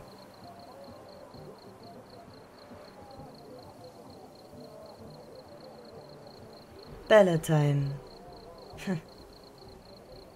Sie vergnügen sich. Sie feiern den ewigen Zyklus der wiedergeborenen Natur. Und wir? Was tun wir hier? Wir Überbleibsel, zum Aussterben verurteilt, zu Vernichtung und Vergessenheit. Die Natur wird wiedergeboren, der Zyklus wiederholt sich. Aber wir nicht, Gerald. Wir können uns nicht wiederholen. Diese Möglichkeit ist uns genommen. Wir haben die Möglichkeit erhalten, mit der Natur ungewöhnliche Dinge zu tun, mitunter sogar ihr geradezu widersprechende. Und zugleich ist uns verboten, was in der Natur am einfachsten und natürlichsten ist. Was nützt es, dass wir länger leben als sie? Auf unseren Winter folgt kein Frühling. Wir werden nicht wiedergeboren. Das, was zu Ende geht, geht zusammen mit uns zu Ende. Und doch zieht es dich, zieht es mich zu diesen Feuern. Obwohl unsere Anwesenheit hier ein böser und lästerlicher Hohn auf diese Welt ist.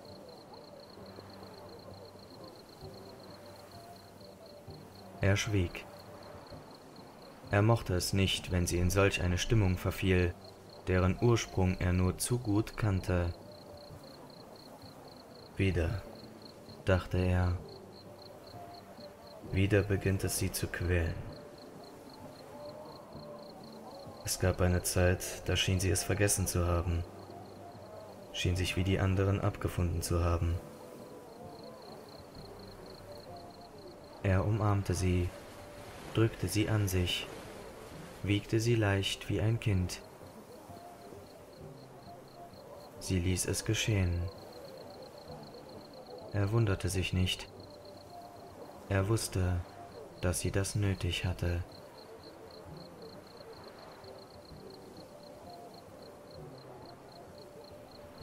Weißt du, Gerald, am meisten hat mir dein Schweigen gefehlt. Er berührte mit dem Mund ihre Haare, das Ohr. Ich will dich, Jen, dachte er. Ich will dich. Du weißt doch. Du weißt es doch, Jen. Ich weiß. Jen,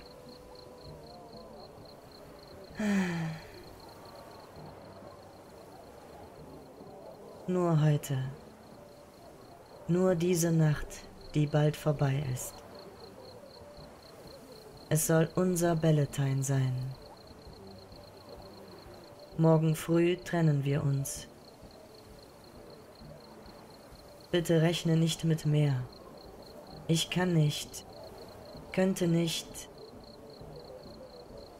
Äh. Verzeih. Wenn ich dich verletzt habe,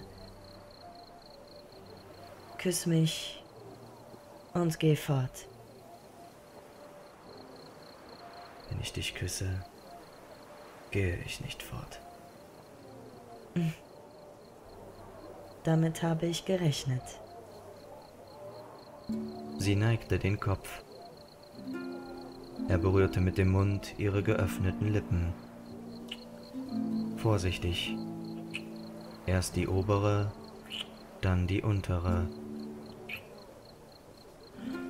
Er vergrub die Finger in die krausen Locken, berührte ihr Ohr, den kleinen Brillantring, ihren Hals.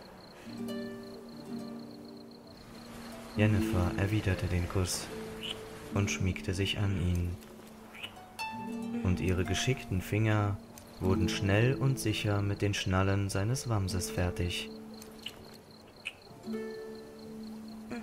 Sie ließ sich rücklings auf den auf weichem Moos ausgebreiteten Umhang fallen.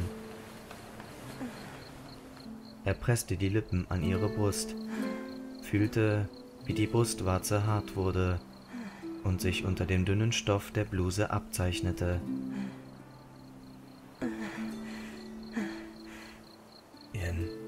Sag nichts. Bitte.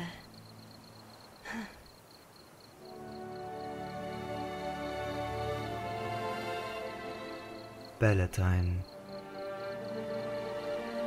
Feuer bis zum Horizont.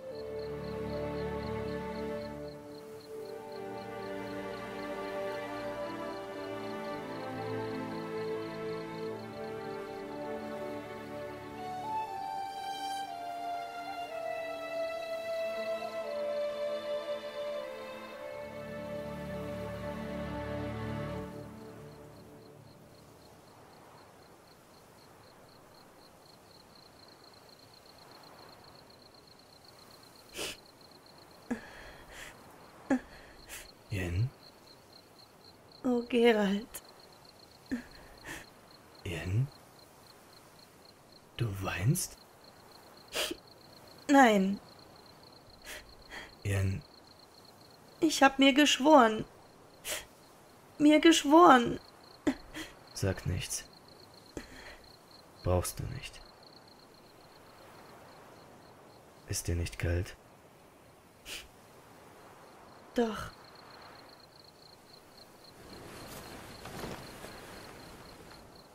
Und jetzt? Wärmer.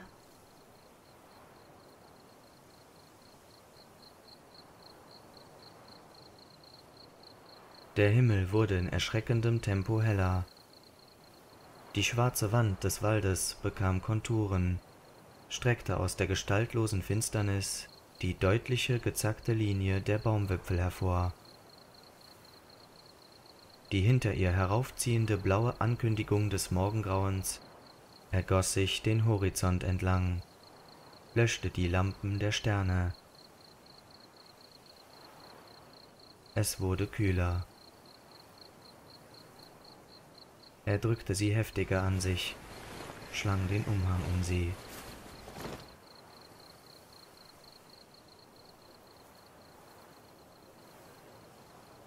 Gerald, Hm? es wird gleich hell. Ich weiß. Habe ich dich gekränkt? Ein wenig. Beginnt es von vorn? Es hat nie aufgehört. Ich bitte dich. Deinetwegen fühle ich mich. Sag nichts. Alles ist gut.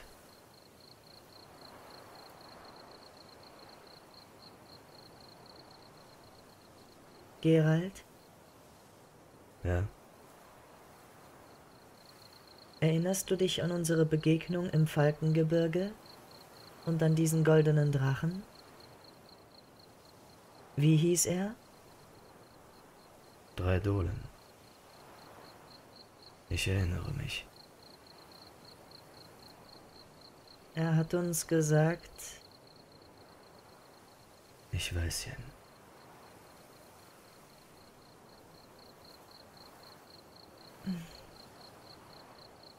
wir sind füreinander geschaffen.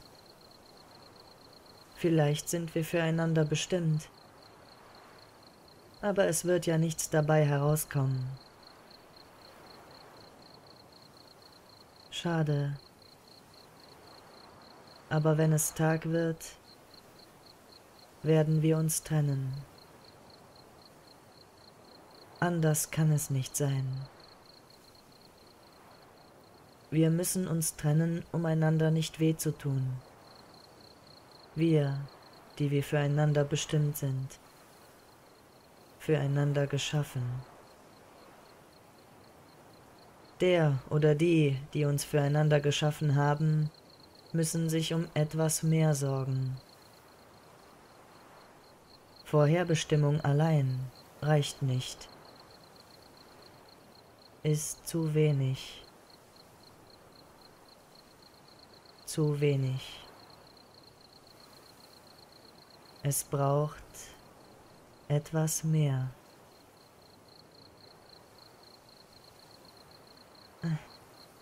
Verzeih mir. Ich musste dir das sagen. Ich weiß.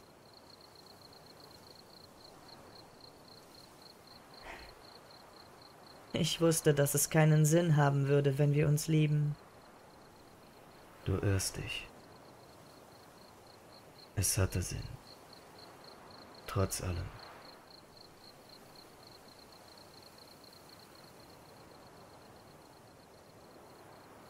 Reite nach Zintra, Gerald. Was? Reite nach Zintra.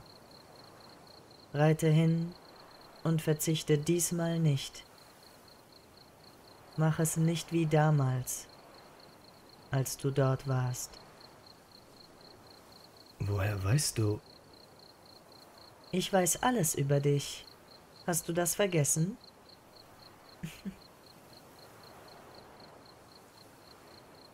Reite nach Zintra. Reite so schnell wie möglich hin. Es brechen schlimme Zeiten an, Gerald. Sehr schlimme. Du musst es schaffen. Jen, Sag nichts. Bitte.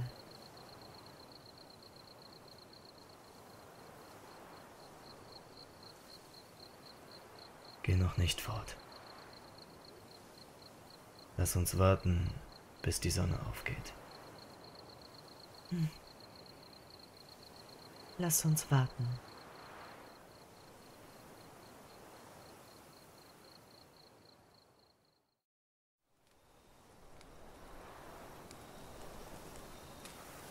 Er erwachte und stellte erstaunt fest, dass der im Schenkel bohrende Schmerz verschwunden war. Auch die pochende, die Haut spannende Schwellung schien ihn nicht mehr zu belästigen. Er wollte mit der Hand hinfassen, konnte sich aber nicht bewegen. Ehe er erfasste, dass nur die Last der Felle, mit denen er zugedeckt war, seine Bewegungsfreiheit einschränkte, strömte ihm ein widerwärtiges Erstaunen in den Bauch, bohrte sich ihm wie Sperberkrallen in die Eingeweide. Er schloss und öffnete die Hand. Langsam und wiederholte in Gedanken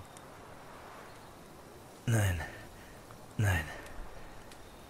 Ich bin nicht gelähmt. Du bist erwacht. Beweg dich nicht. Jedenfalls nicht so heftig. Tut es weh? Nein. Die Wunde nicht. Der Rücken. Wundgelegen. Das kriegen wir hin. Da, trink das aus. Langsam, in kleinen Schlücken.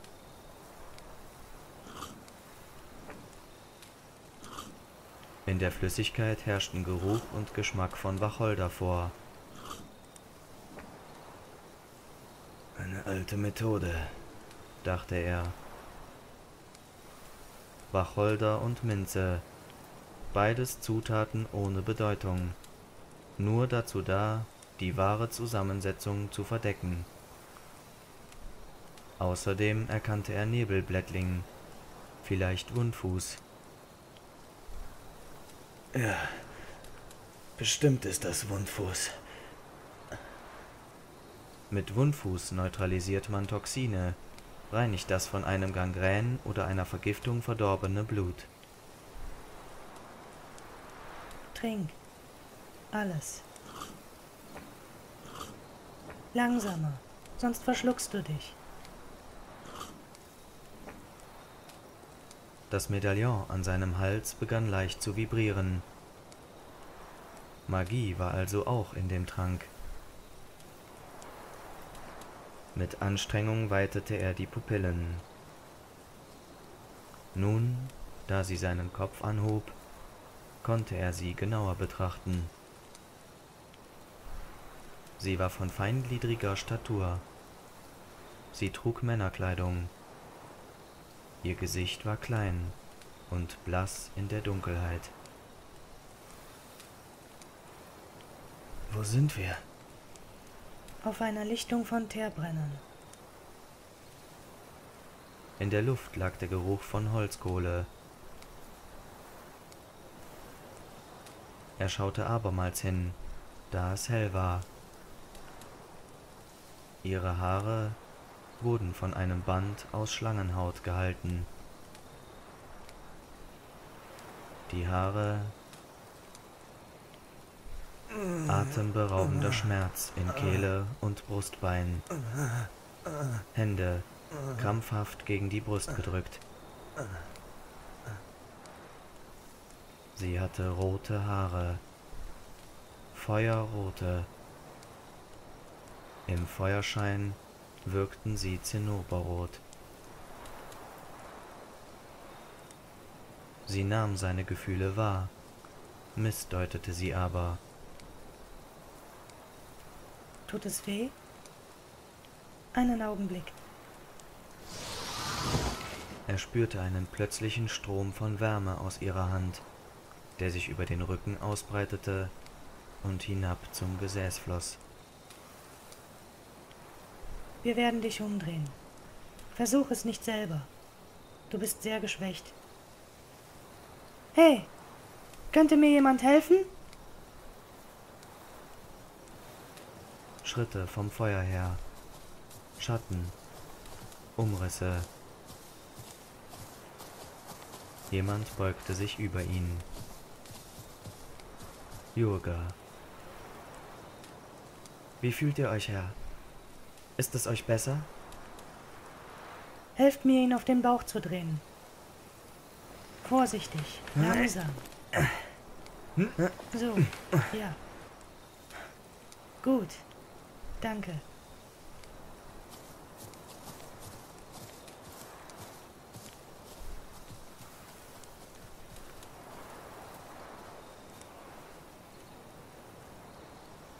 Er brauchte sie nicht mehr anzuschauen. Auf dem Bauch liegend, brauchte er nicht mehr zu riskieren, ihr in die Augen zu blicken. Er beruhigte sich, brachte die zitternden Hände unter Kontrolle. Sie hätte es spüren können. Er hörte die Schlösser ihrer Tasche klicken, Fläschchen und Porzellanfiolen klirren. Er hörte sie atmen, fühlte die Wärme ihres Schenkels. Sie kniete neben ihm. Meine Wunde. War sie schwierig? Die im Gesicht nicht. Du hast großes Glück gehabt. Es ging knapp am Auge vorbei.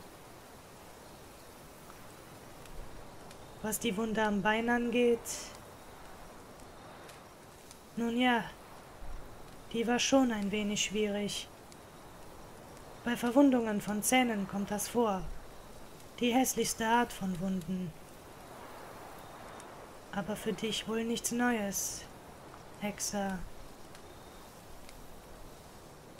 Sie weiß es, dachte er. Sie stochert mir an den Gedanken herum.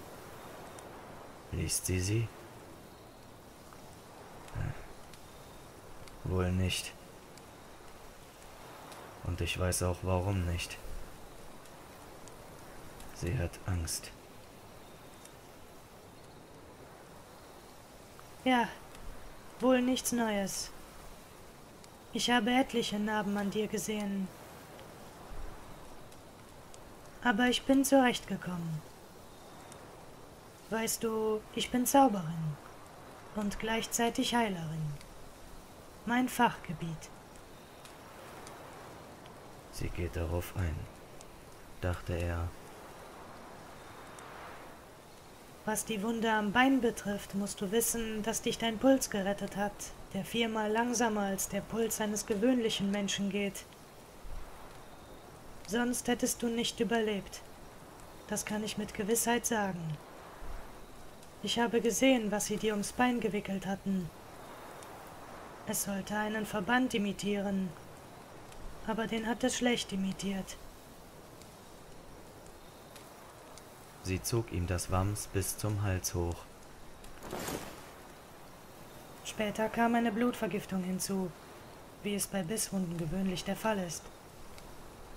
Sie ist gebremst worden. Natürlich ein Hexerelixier. Das hat viel geholfen. Ich begreife aber nicht, warum du zugleich Halluzinogene genommen hast. Ich habe eine Menge von deinen Fieberfantasien gehört, Gerald von Riva. Sie liest meine Gedanken, dachte er. Sie tut es doch. Oder vielleicht hat Yoga ihr gesagt, wie ich heiße. Vielleicht habe ich mich unter dem Einfluss der schwarzen Möwe im Schlaf verplappert. Hm, weiß der Teufel. Aber das Wissen, wie ich heiße, nützt dir nichts. Nichts. Sie weiß nicht, wer ich bin. Sie hat keine Ahnung, wer ich bin. Er fühlte, wie sie ihm vorsichtig eine kalte, lindernde Salbe mit starkem Kampfergeruch auf den Rücken strich. Sie hatte kleine und sehr weiche Hände. Entschuldige, dass ich das auf herkömmliche Art tue. Ich könnte dir die wundgelegenen Stellen mit Hilfe von Magie heilen. Aber ich habe mich bei der Wunde am Bein etwas verausgabt und fühle mich nicht besonders. Am Bein habe ich zusammengefügt und geschlossen, was möglich war. Du bist nicht mehr in Gefahr. Steh aber in den nächsten zwei Tagen nicht auf. Sogar die magische Verbindung von Blutgefäßen bricht leicht auf. Du würdest hässliche Blutergüsse bekommen. Eine Narbe bleibt natürlich. Zwei, um genau zu sein. Die auf der Wange nicht zu vergessen. Noch zwei in der Sammlung. Danke. Kann ich erfahren, wem ich danke? Sie wird es nicht sagen, dachte er. Oder lügen. Ich heiße Visenna. Ich weiß, dachte er. Er hatte die Wange noch immer an den Fellen. Sie zog ihm das Wams über den Rücken und deckte ihn mit Pelzen zu.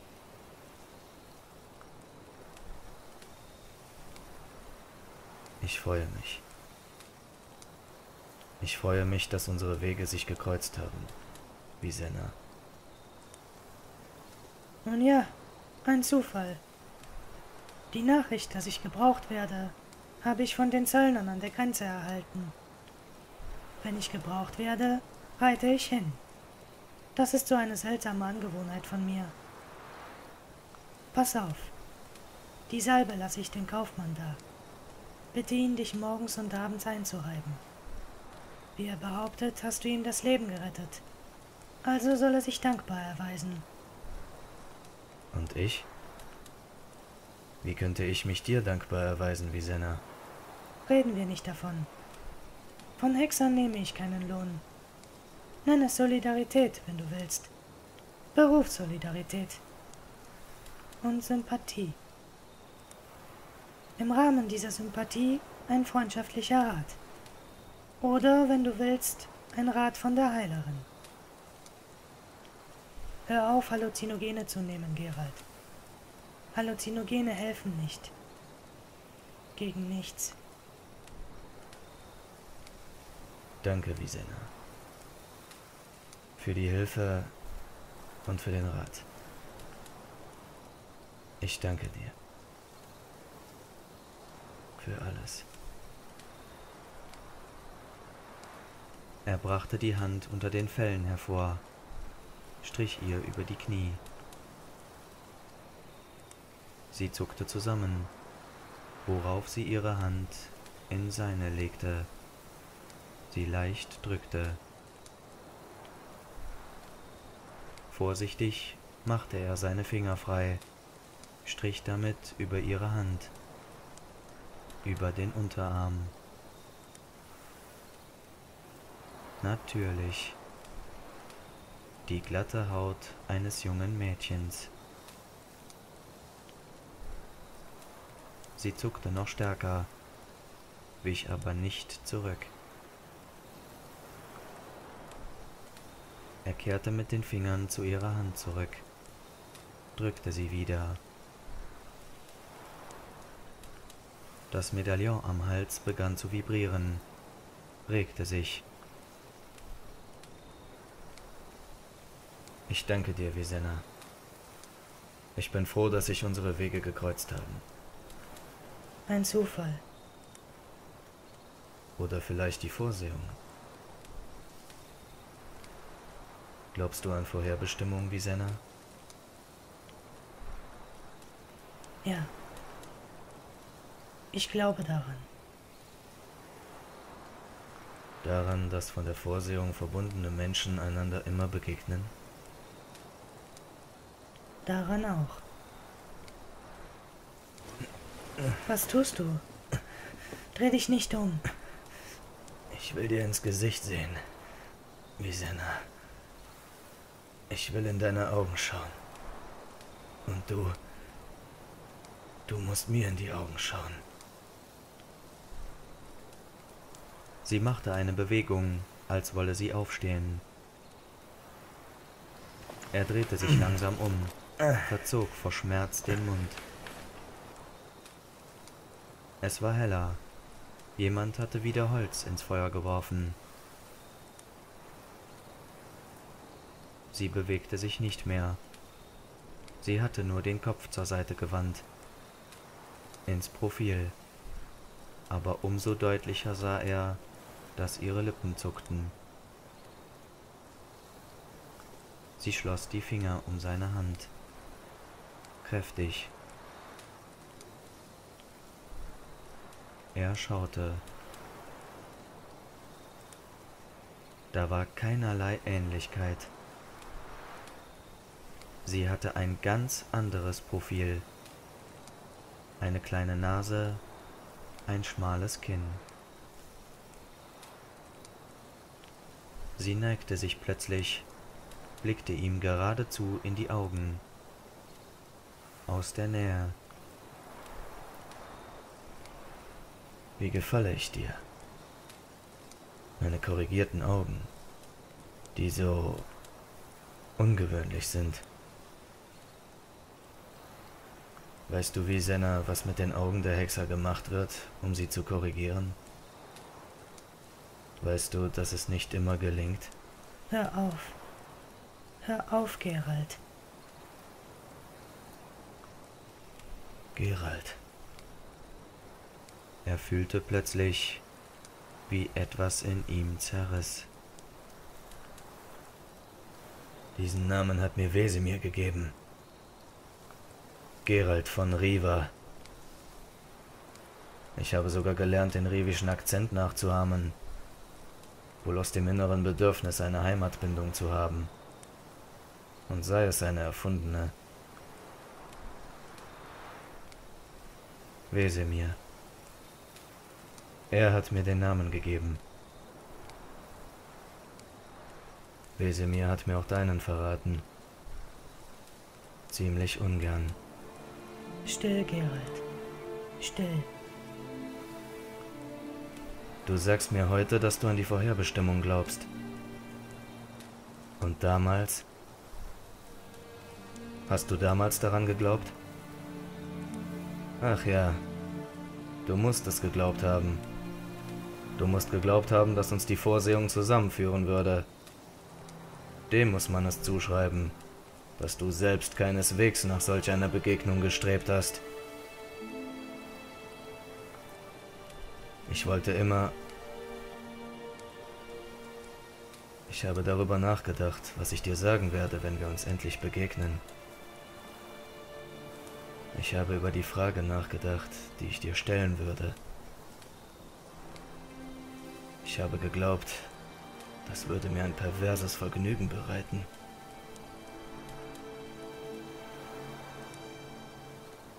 Das, was auf ihrer Wange glänzte, war eine Träne, zweifellos. Er fühlte, wie sich ihm die Kehle zusammenkrampfte, dass es schmerzte. Er fühlte sich müde, schläfrig, schwach.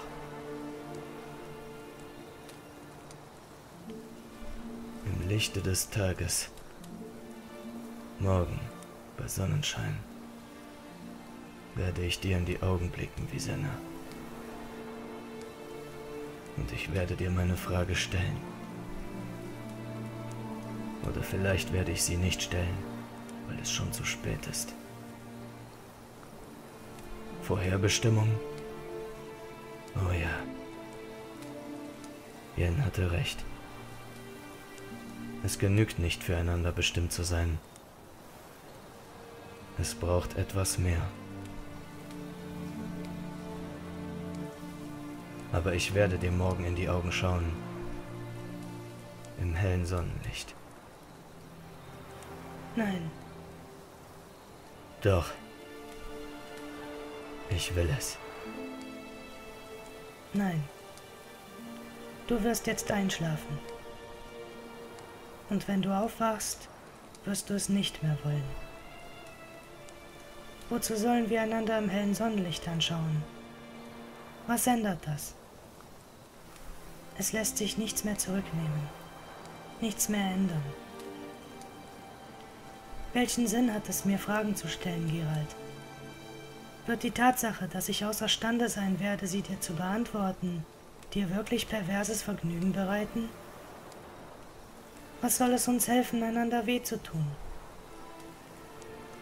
Nein, wir werden einander nicht bei Tageslicht anschauen. Schlaf, Gerald. Und unter uns gesagt, es war durchaus nicht Wesemir, der dir den Namen gegeben hat. Obwohl auch das nichts ändert und nichts rückgängig macht, möchte ich, dass du es weißt. Werd gesund und pass auf dich auf.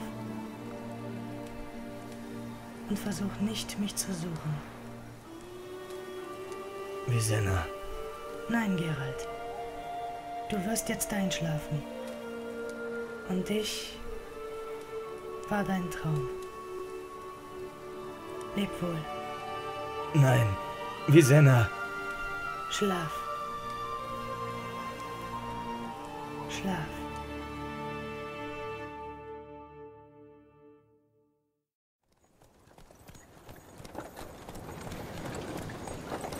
Sind wir schon im Flussland, Jurga? Seit gestern, Herr Gerald. Bald kommt schon die Jaruga. Und dahinter gleich meine Gegend.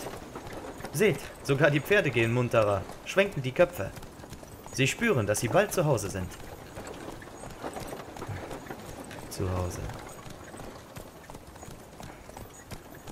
Du wohnst in der Stadt? In der Vorstadt. Interessant. Ich sehe fast keine Spuren des Kriegs. Das heißt, dieses Land sei schrecklich verwüstet worden. Freilich, woran es auch gemangelt hat, an Ruinen nicht. Es gibt fast keine Hütte, keinen Zaun ohne frisches Holz. Und jenseits des Flusses, ihr werdet sehen, da war es noch schlimmer. Da war alles bis auf den Grund niedergebrannt. Nun ja, der Krieg ist der Krieg. Aber das Leben muss weitergehen. Hier ging alles drunter und drüber, als die Schwarzen durch unser Land gezogen sind. Damals sah es wirklich so aus, als würden sie alles in eine Wüste verwandeln. Viele von denen, die damals geflohen sind, sind nicht zurückgekehrt. Aber an ihrer Stelle haben sich neue angesiedelt. Das Leben muss weitergehen. Hm, stimmt. Das Leben muss weitergehen. Egal was war. Es muss weitergehen. Recht habt ihr. Da, bitte. Zieht sie an. Ich hab euch die Hose genäht. Gestopft. Sie ist wie neu. Das ist wie mit dieser Erde, Herr Gerald. Der Krieg hat sie zerrissen, ist wie mit eiserner Egge darüber hinweggegangen, hat sie aufgetrennt, mit Blut besudelt. Aber jetzt wird sie wie neu sein und noch bessere Frucht tragen. Sogar die, die in dieser Erde verfault sind, dienen einem guten Zweck. Düngen sie. Vorläufig ist es noch schwer, denn überall auf den Feldern liegen Knochen, Eisen. Aber die Erde wird auch mit dem Eisen fertig. Habt ihr keine Angst, dass die Nilfgaarder, dass die Schwarzen wiederkommen? Sie haben den Weg durch die Berge schon einmal gefunden. Freilich, wir haben Angst. Aber was hilft? Da sitzen und weinen? Zittern? Das Leben muss weitergehen. Und was kommt, kommt. Was vorherbestimmt ist, dem kann man ja doch nicht entgehen. Du glaubst an Vorherbestimmung? Wie sollte ich nicht daran glauben? Nachdem wir uns auf der Brücke getroffen haben? Bei der Schlucht? Nachdem ihr mich vor dem Tode gerettet habt? Ach, Herr Hexer, ihr werdet sehen, meine Zylinder wird euch zu Füßen fallen. Gib Ruhe. Offen gesagt, verdanke ich dir mehr. Dort auf der Brücke. Das ist ja meine Arbeit, Jürger. Mein Beruf. Ich beschütze die Menschen für Geld, nicht aus Herzensgüte. Gib zu, Jürger. Du hast gehört, was die Leute über Hexer reden dass man nicht wisse, was schlimmer sei. Sie oder die Ungeheuer, die sie töten. Das ist nicht wahr, Herr. Ich weiß nicht, warum ihr sowas sagt. Ihr habt ich denn keine Augen im Kopf? Ihr seid doch aus demselben Holz geschnitzt wie jene Heilerin. Wie Senna. Sie hat ihren Namen nicht genannt. Aber sie kam im Galopp zu uns geritten, weil sie wusste, dass sie gebraucht wird. Am Abend hat sie uns erreicht und sich gleich mit euch befasst. Kaum, dass sie aus dem Sattel gestiegen war, Oh Herr, sie hat sich mit eurem Bein abgemüht. Von dieser Magie hat richtig die Luft gezittert. Und da sind wir vor Angst in den Wald gerannt. Und ihr ist danach Blut aus der Nase gelaufen. Es ist halt nicht einfach mit dem Zaubern. Ja, sie hat sich um euch gesorgt. Geradezu wie... Wie eine Mutter. Gewiss. Das habt ihr gut gesagt. Und wie ihr eingeschlafen seid... Ja, Jürger. Sie hat sich kaum auf den Füßen gehalten. Weiß wie eine Wand war sie. Aber sie ist gekommen, hat gefragt, ob nicht einer von uns Hilfe braucht. Einem Pechbrenner hat sie den Arm geheilt, den ihm ein Baumstamm gequetscht hatte. Sie hat keinen Pfennig genommen, sogar noch Arznei dagelassen. Nein, Herr Gerald. Ich weiß, auf der Welt wird alles Mögliche über Hexer geredet und alles Mögliche über Zauberer. Aber nicht bei uns. Wir von Obersodden und die Leute aus dem Flussland wissen es besser. Zu viel verdanken wir den Zauberern, um nicht zu wissen, wer sie sind. Bei uns ist die Erinnerung an sie nicht in Gerüchten und Geschwätz vertan, sondern in Stein gehauen. Ihr werdet es selber sehen, so wie der Jungwald endet. Übrigens, ihr wisst es sicherlich selber besser. Von dieser Schlacht hat ja die ganze Welt geredet. Und es ist noch nicht mal ein halbes Jahr her. Ihr müsst davon gehört haben. Ich war nicht hier. Seit Bellatine. Seit einem halben Jahr. Ich war im Norden. Aber ich habe gehört. Die zweite Schlacht um Sodden. In der Tat. Gleich werdet ihr die Anhöhe und den Felsblock sehen. Früher hatten wir für diese Anhöhe einen gewöhnlichen Namen, Habichtberg. Aber jetzt sagen alle Berg der Zauberer oder Berg der 14. Denn 22 von ihnen haben in der Schlacht dort gestanden und 14 sind gefallen. Das war eine schreckliche Schlacht, Herr Gerald. Die Erde hat sich aufgebäumt vom Himmel hat es Feuer geregnet. Blitze sind eingeschlagen. Die Leichen lagen dicht an dicht. Aber die Zauberer haben die Schwarzen überwunden, haben die Gewalt gebrochen, die sie geführt hat. 14 haben ihr Leben hingegeben. Was ist, Herr? Was ist euch? Nichts. Sprich weiter, Jurga. Eine schreckliche Schlacht war das. Oi, wenn nicht diese Zauberer auf der Anhöhe gewesen wären, wer weiß. Vielleicht würden wir dann nicht hier auf dem Weg nach Hause reden. Denn es gäbe kein Zuhause. Mich gäbe es nicht. Und euch vielleicht auch nicht. Ja, das verdanken wir den Zauberern. 14 von ihnen sind umgekommen, als sie uns verteidigten. Die Leute von Sodden und dem Flussland. Gewiss, andere haben auch da gekämpft. Krieger und der Adel. Und auch von den Bauern hat, wer nur konnte, eine Mistgabel oder Axt genommen. Oder wenigstens einen Knüppel. Alle haben sich tapfer geschlagen und manch einer ist gefallen. Aber die Zauberer... Für einen Krieger ist es keine Kunst zu fallen, denn das ist sein Beruf. Und das Leben ist sowieso kurz. Aber Zauberer können ja leben, solange sie wollen. Und sie haben nicht gezögert. Sie haben nicht gezögert. Nicht gezögert. Und ich war im Norden. Was ist mit euch, Herr? Nichts.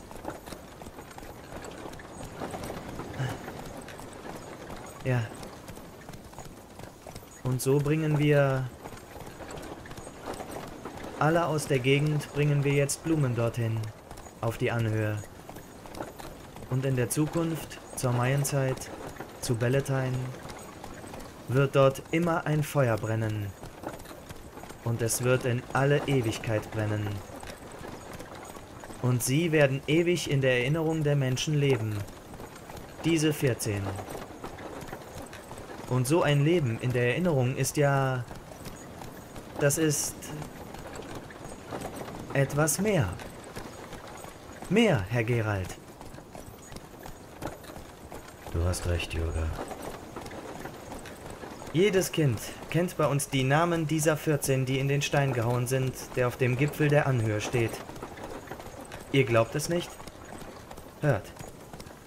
Axel, genannt der Gefleckte. Triss Marigold. Atlan Kerk. Vaniel von Brugge. Dagobert von Wohle. Hör auf, Jürger. Was ist euch, Herr? Ihr seid totenbleich. Nichts.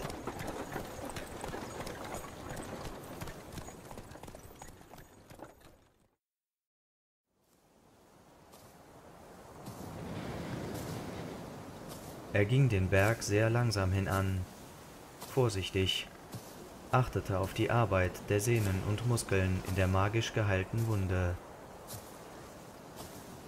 Obwohl die Entzündung vollends abgeklungen zu sein schien, schonte er das Bein weiterhin und wagte es nicht, das ganze Körpergewicht darauf zu verlagern. Es war kühl, und der Geruch hinabgefallener Blätter stieg ihm in den Kopf, benahm ihm die Sinne. Doch er war angenehm. Der Obelisk stand nicht im Mittelpunkt des flachen Gipfels. Er war ein Stück zurückversetzt, aus einem Kreis kantiger Steine heraus. Wenn er kurz vor Sonnenuntergang gekommen wäre, wäre der Schatten des Menhirs in den Kreis gefallen und hätte genau dessen Mittelpunkt bezeichnet, dazu die Richtung, der die Gesichter der Zauberer während der Schlacht zugewandt waren. Gerald blickte in jene Richtung, zu den grenzenlosen hügeligen Feldern hin. Wenn es dort noch Knochen der Gefallenen gab, und die gab es bestimmt, so verdeckte sie das hochgeschossene Gras.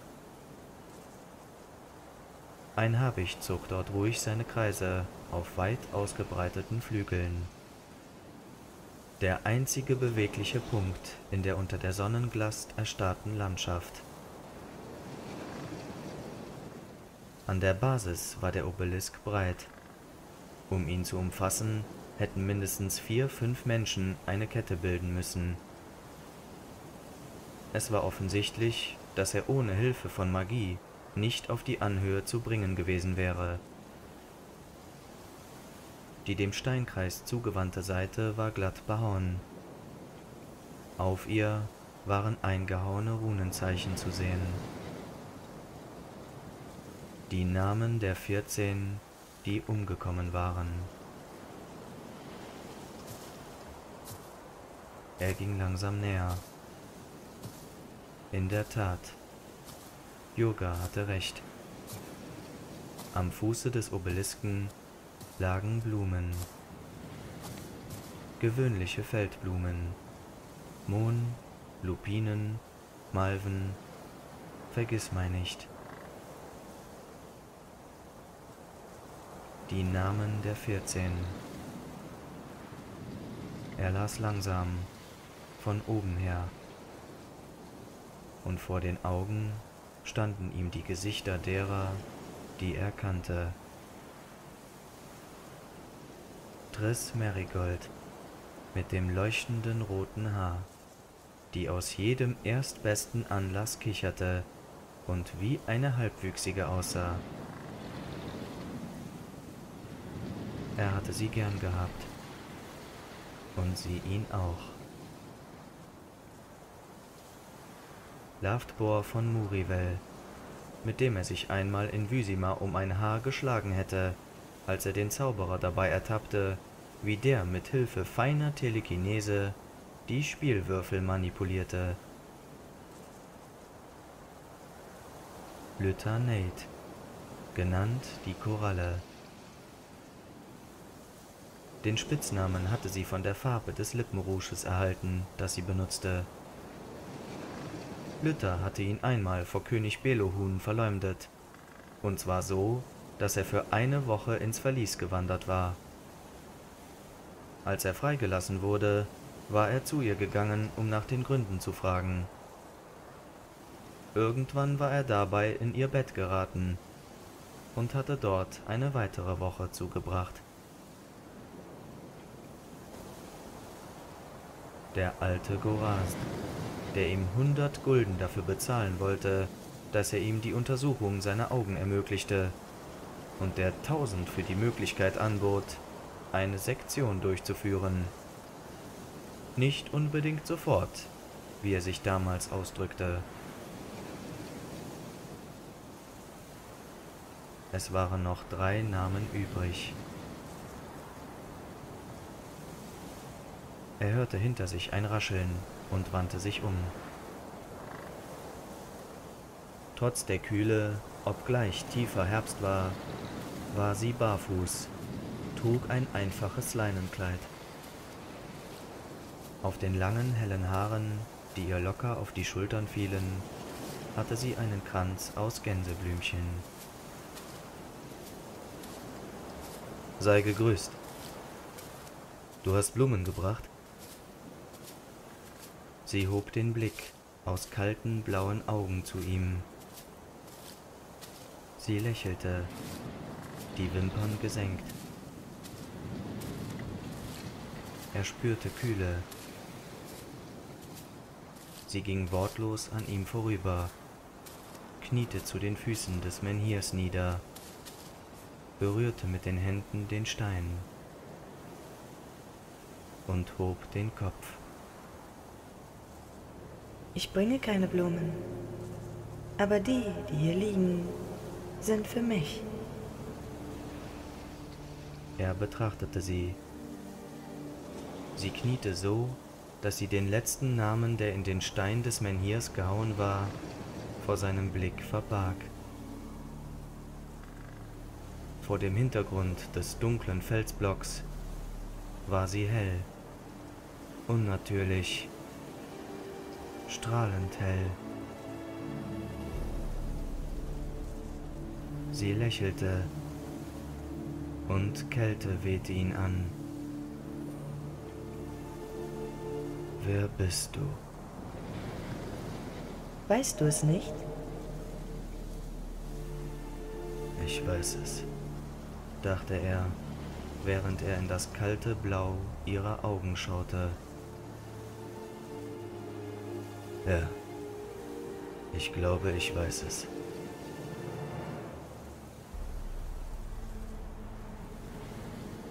Ich war immer neugierig, wie du aussiehst, Herrin. Du brauchst mich nicht so anzusprechen. Wir kennen uns doch seit Jahren. Wir kennen uns. Es heißt, dass du mir auf Schritt und Tritt folgst. Das tue ich. Aber du hast niemals zurückgeschaut. Bis heute. Heute hast du zum ersten Mal hinter dich geblickt.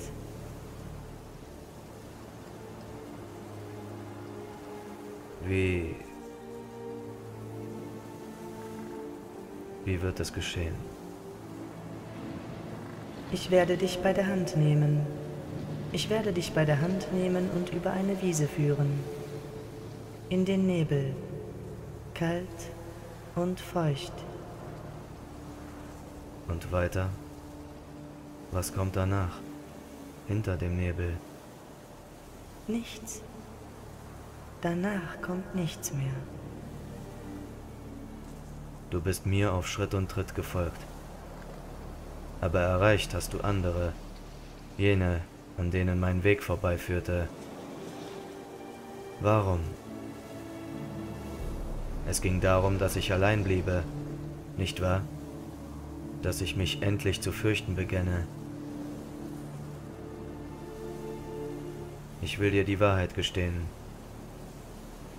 Ich habe dich immer gefürchtet. Immer.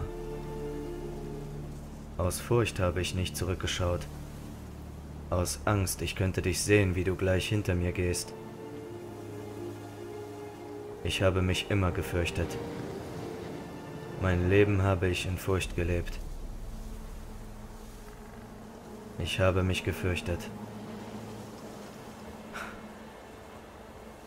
Bis heute. Bis heute? Ja, bis heute. Wir stehen uns von Angesicht zu Angesicht gegenüber. Und ich fühle keine Furcht. Du hast mir alles genommen. Auch die Furcht hast du mir genommen. Warum also sind deine Augen voller Angst, Gerald von Riva? Deine Hände zittern, du bist bleich. Warum? Fürchtest du so sehr den letzten, vierzehnten Namen, der in den Obelisken gehauen ist? Wenn du willst, sage ich dir, wie dieser Name lautet. Das brauchst du nicht. Ich weiß, welcher Name das ist. Der Kreis schließt sich. Die Schlange schlägt ihre Zähne in den eigenen Schwanz. So muss es sein. Du und der Name und die Blumen. Für sie und für dich. Der vierzehnte in den Stein gehauene Name. Der Name, den ich inmitten der Nacht und im Glanz der Sonne ausgesprochen habe. Bei Kälte, sengender Hitze und Regen. Nein, ich habe keine Angst, ihn jetzt auszusprechen. So sprich ihn aus.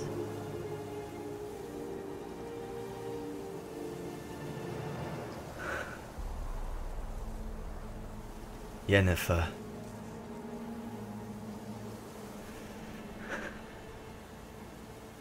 Jennifer von Wengerberg. Doch die Blumen sind für mich. Machen wir Schluss damit. Nimm. Nimm mich bei der Hand. Sie stand auf, kam näher. Er fühlte die Kühle, die sie verströmte. Eine scharfe, durchdringende Kälte.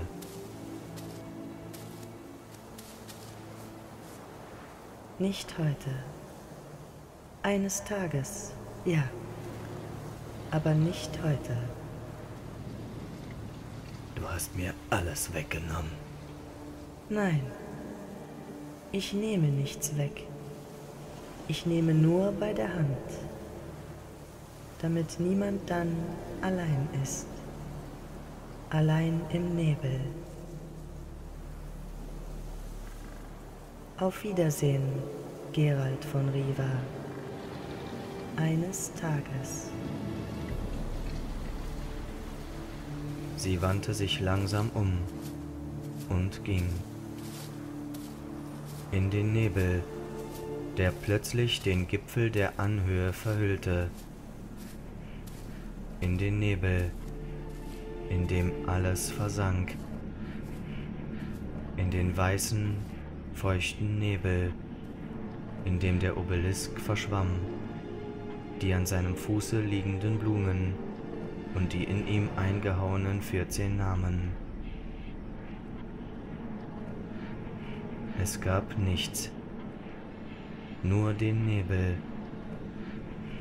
und das nasse, von Tropfen funkelnde Gras unter den Füßen. Das Gras roch schwer, süß, dass es ihm die Sinne benahm und in den Schläfen schmerzte, erzeugte Vergessen, Müdigkeit. Herr Gerald!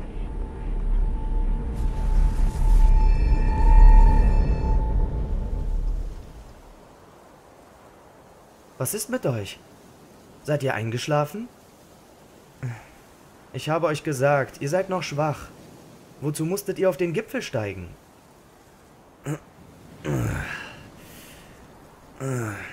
Ich bin eingeschlafen.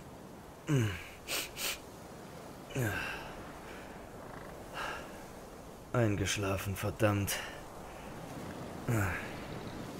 Es ist nichts, Jürger. Wir müssen weiter, Herr. Kommt, ich helfe euch den Hang hinab. Mit mir ist alles in Ordnung. Ja, ja. Dann frag ich mich, warum ihr wankt. Was zum Kuckuck seid ihr auf den Gipfel gestiegen? Schwach wie ihr seid. Wolltet ihr die Namen lesen? Ich hätte sie euch alle sagen können. Was ist euch? Nichts. Kennst du wirklich alle 14 Namen? Gewiss. Ich will prüfen, wie es um dein Gedächtnis steht. Der letzte. Der vierzehnte. Was ist das für ein Name? Was seid ihr nur ungläubig? Nichts glaubt ihr. Wollt ihr prüfen, ob ich nicht lüge? Ich habe euch doch gesagt, diese Namen kennt bei uns jedes Kind. Der letzte, sagt ihr.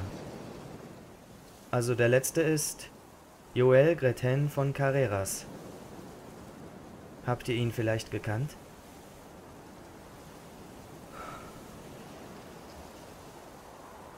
Nein. Ich habe ihn nicht gekannt.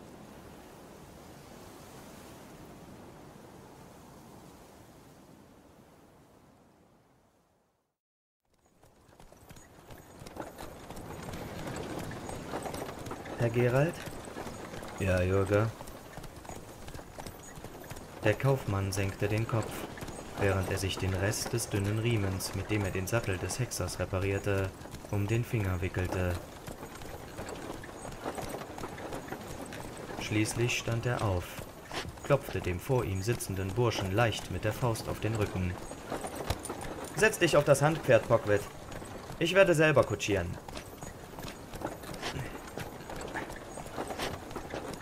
Kommt zu mir auf den Bock, Herr Gerald. Und was treibst du dich beim Wagen rum, Pockwit? Los, reit voraus. Wir wollen uns hier unterhalten. Da können wir deine Ohren nicht gebrauchen.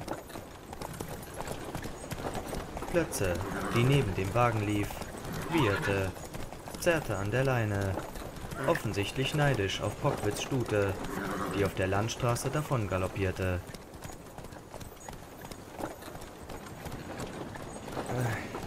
Nun ja, die Sache ist die, Herr.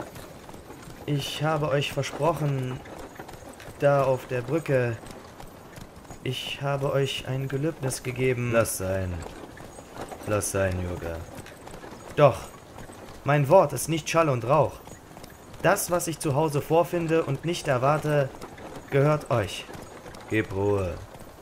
Ich will nichts von dir. Wir sind quitt. Nein, Herr. Wenn ich zu Hause so etwas vorfinde, dann muss das vorherbestimmt sein. Und wenn man mit der Vorsehung spaßt, wenn man sie belügt, dann straft sie einen hart. Ich weiß, dachte der Hexer. Ich weiß. Aber Herr Gerald. Was, Yoga?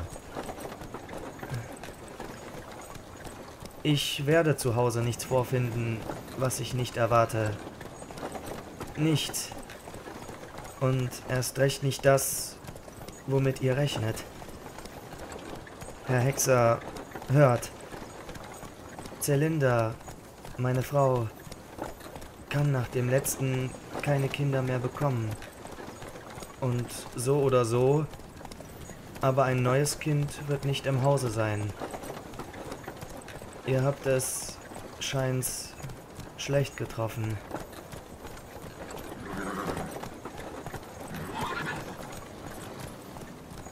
Aber ich habe zwei Söhne. Zwei. Gesund, stark und nicht dumm. Irgendwann muss ich sie ja in die Lehre geben. Einer, dachte ich, soll wie ich Kaufmann werden. Und der andere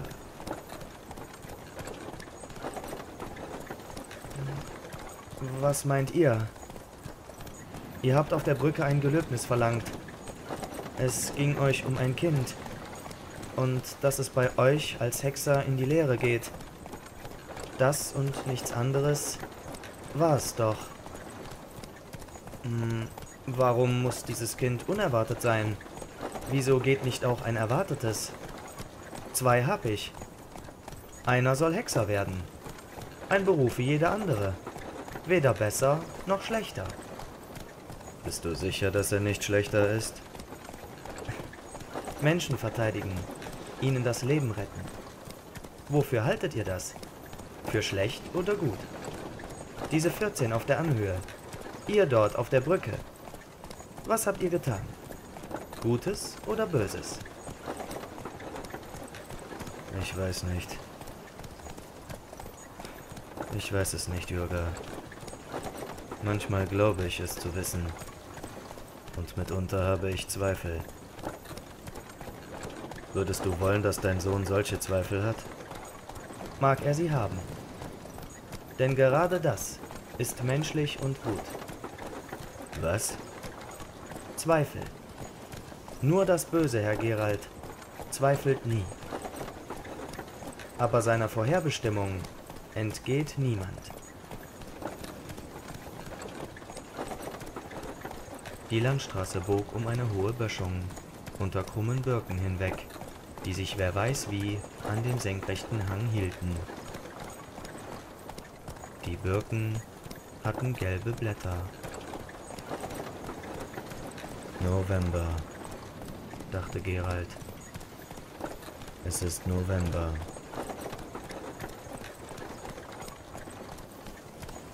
Im Tal glänzte der Fluss. Blinkten weiß die Palisaden einer Wachstation, die Dächer von Hütten, die behauenen Pfähle einer Anlegestelle. Ein Strudel schäumte. Eine Fähre.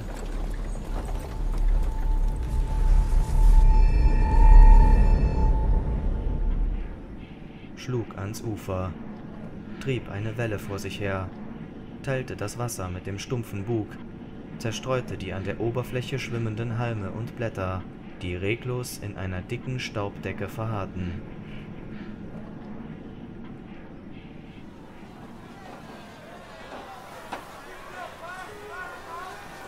Die am Ufer zusammengedrängte Menge lärmte. In diesem Lärm war alles. Eine gleichmäßige Bassnote der Angst. Fort! Fort!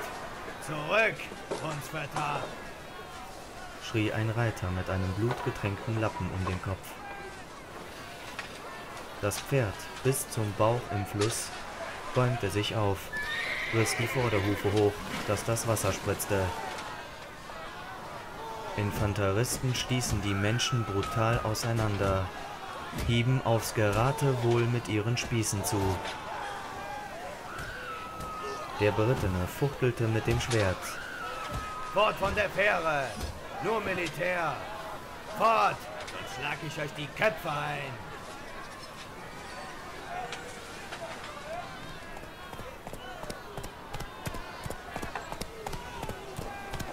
Gerald zog die Zügel an, hielt die Stute zurück, die dicht am Rande des Hohlwegs tänzelte. Durch den Hohlweg kamen, mit Waffen und Rüstungen klirrend, Panzerreiter galoppiert. Die von ihnen aufgewirbelten Staubwolken verdeckten die nachfolgenden Fußtruppen.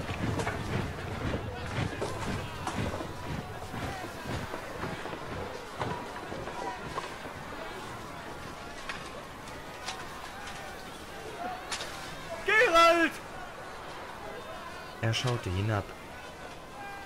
Auf einem verlassenen, von der Straße gestoßenen Wagen voller Holzkäfige hüpfte und gestikulierte ein schmächtiger Mann in pflaumenblauem Wams, auf dem Kopf ein Hütchen mit einer Reiherfeder. In den Käfigen gackerten und schnatterten Hühner und Gänse. Gerald! Ich bin's! Rittersporn? Komm hier rauf! Fort! Fort von der Fähre! Die Fähre nur fürs Militär! Wenn ihr ans andere Ufer wollt, Hundsvetter, dann mit den Äxten ab in den Wald! Flöße hauen! Die Fähre nur fürs Militär! Der Dichter kletterte den Hang des Hohlweges hinauf. Sein pflaumenblaues Wams war wie mit Schnee mit Vogelfedern übersät.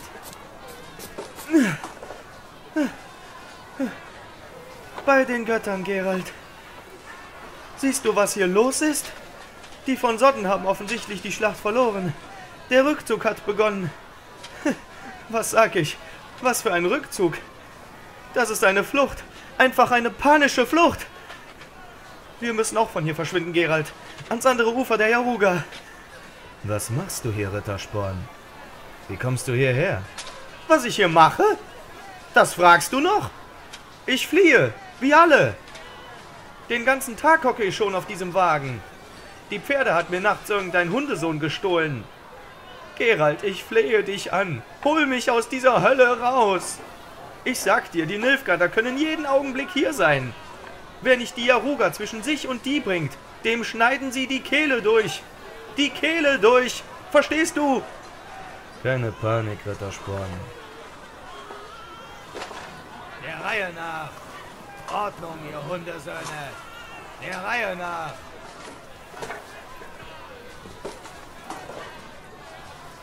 Gerald, siehst du, was dort los ist? Im Leben schaffen wir es nicht, auf diese Fähre zu kommen. Die Soldaten werden damit so viel übersetzen, wie sie schaffen, und sie dann verbrennen, damit die Nilfgaarder sie nicht benutzen können. So macht man das für gewöhnlich, oder? Scheint so. So macht man es für gewöhnlich. Nur der Zeitpunkt ist etwas ungewöhnlich. So kurz nach Bellatine. Hm. Trotzdem begreife ich nicht, wieso diese Panik. Ist das vielleicht der erste Krieg? Als ob es noch nie welche gegeben hätte. Wie üblich werden sich die Truppen der Könige gegenseitig zusammenhauen. Und dann werden sich die Könige einigen, einen Vertrag unterschreiben und sich bei der Gelegenheit beide volllaufen lassen. Für die, die sich gerade an der Fähre die Rippen zerquetschen, ändert sich im Grunde nichts. Warum also der ganze Aufruhr? Du hast vielleicht miserable Informationen, Gerald. Bist du noch von den Valentine-Feierlichkeiten benommen? Oder kannst du die Bedeutung der Informationen nicht verstehen? Das ist kein gewöhnlicher Krieg um die Thronfolge oder um ein Fleckchen Erde. Das ist kein Geplänkel von zwei Feudalherren, dem die Bauern zuschauen, ohne die Heuernte zu unterbrechen. Was ist es dann? Weihe mich ein, denn ich weiß wirklich nicht, worum es geht. So unter uns gesagt, unterm Strich kümmert mich das wenig. Aber erklär's mir bitte.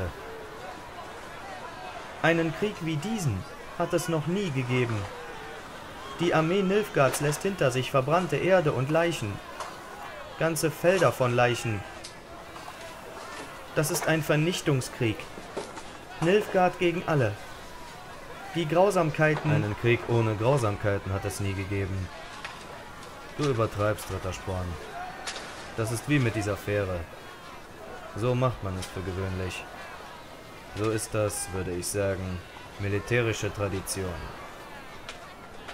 Seit die Welt steht, morden, rauben, brennen und vergewaltigen die durchs Land ziehenden Armeen.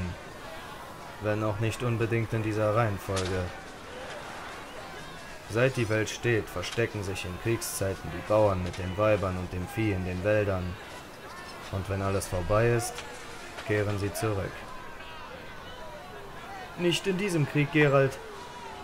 Nach diesem Krieg wird es niemanden geben, der zurückkehren könnte und keinen Ort, an den er zurückkehren könnte. Nilfgaard hinterlässt nichts als Brandasche. Die Armeen ziehen in breiter Front einher und schlachten alles ab. Galgen und Pfähle ziehen sich meilenweit an den Landstraßen entlang. Rauch steigt gen Himmel, so weit das Auge reicht. Du sagtest, sowas habe es nicht gegeben, seit die Welt steht? Richtig. Ja, seit die Welt steht. Unsere Welt. Denn es sieht danach aus, dass die Nilfgaarder über die Berge gekommen sind, um unsere Welt zu vernichten. Das hat keinen Sinn. Wem könnte an der Vernichtung der Welt gelegen sein? Man führt keine Kriege, um zu vernichten. Kriege werden aus zwei Gründen geführt. Der eine ist Macht, der andere Geld. Philosophiere nicht, Gerald. Was hier geschieht, kannst du mit Philosophie nicht ändern. Warum hörst du nicht zu? Warum siehst du nicht hin? Warum willst du es nicht verstehen? Glaub mir, die Yaruga wird die Nilfgaarder nicht aufhalten. Im Winter, wenn der Fluss zufriert, werden sie weiter marschieren. Ich sage dir, wir müssen verschwinden, bis in den Norden. Dort kommen sie vielleicht nicht hin. Aber selbst wenn sie dort nicht hinkommen, wird unsere Welt nie mehr sein, wie sie war. Gerald, lass mich nicht hier zurück. Ich komme allein nicht zurecht. Lass mich nicht im Stich. Du musst verrückt sein, Rittersporn. Du musst vor Angst verrückt sein, wenn du denken kannst, ich ließe dich im Stich. Gib die Hand. Spring aufs Pferd. Hier hast du nichts zu suchen. Auf die Fähre kommst du sowieso nicht. Ich bringe dich flussaufwärts. Wir suchen uns ein Boot oder ein Floß. Die Nilfgaarder werden uns aufstöbern. Sie sind schon nahe. Hast du die Berittenen gesehen? Offensichtlich kommen sie direkt aus der Schlacht. Lass uns Strom abreiten. Auf die Ina-Mündung zu. Hör auf zu krächzen. Wir schlagen uns durch. Du wirst sehen. Flussab ziehen auch Menschenmassen. Bei jeder Fähre wird es dasselbe sein wie hier. Die Boote hat sich bestimmt auch schon jemand gegriffen. Wir reiten flussaufwärts. Gegen den Strom. Hab keine Angst. Ich bring dich rüber. Und wenn's in einer Tonne ist. Das andere Ufer ist kaum zu sehen. Gib Ruhe. Ich hab gesagt, ich bringe dich rüber. Und du? Spring aufs Pferd. Wir können uns unterwegs unterhalten. Hey, zum Teufel, aber nicht mit diesem Sack. Willst du, dass Plötze sich das Rückgrat bricht? Das ist Plötze? Plötze war mittelbraun. Und die hier ist kastanienbraun. Meine Pferde heißen alle Plötze. Das weißt du genau. Also lenk nicht ab. Ich hab gesagt, weg mit dem Sack. Was hast du da drin, verdammt? Gold? Manuskripte, Gedichte und ein bisschen was zu beißen. Schmeiß es in den Fluss. Du wirst neue Verse schreiben. Und mein Essen teile ich mit dir. Rittersporn zog eine betrübte Miene, zögerte aber nicht lange, sondern warf mit Schwung das Säckchen ins Wasser. Er sprang in den Sattel, rutschte hin und her, bis er sich auf den Satteltaschen eingerichtet hatte und hielt sich am Gürtel des Hexers fest.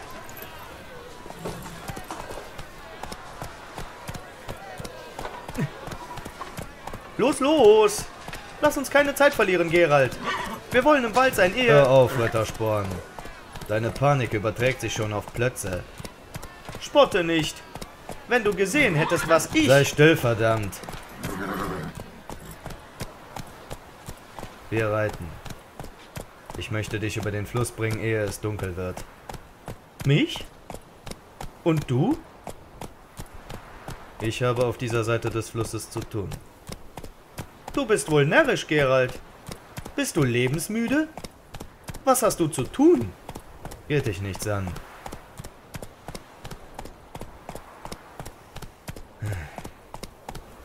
Ich reite nach Zintra. Nach Zintra? Zintra gibt's nicht mehr. Was sagst du? Zintra gibt's nicht mehr. Bloß einen rauchenden Trümmerhaufen. Die Nilfgaarder... Steig ab, Rittersporn. Äh, was? Steig ab!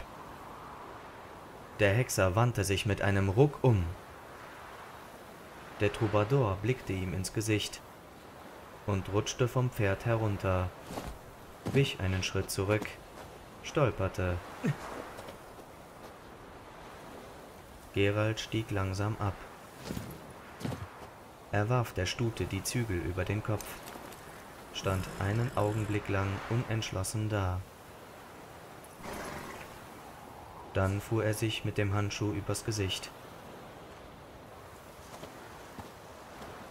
Er setzte sich an den Rand des Abhangs, unter einen ausladenden Hartriegel mit blutroten Zweigen.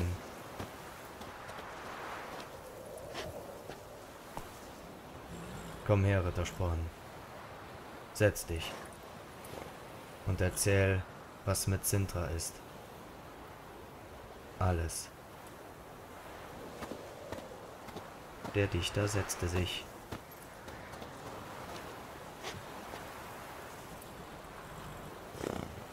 Die Nilfgaarder sind über einen Gebirgspass dort eingefallen. Zu Tausenden. Gleich am Morgen nach Belletein. Sie haben das Heer Zintras im Manadaltal eingekreist. Es kam zur Schlacht, die einen ganzen Tag dauerte, vom Morgengrauen bis zur Abenddämmerung. Die von Sintra haben sich tapfer geschlagen, wurden aber dezimiert. Der König fiel, aber ihre Königin... Kalante. Ja.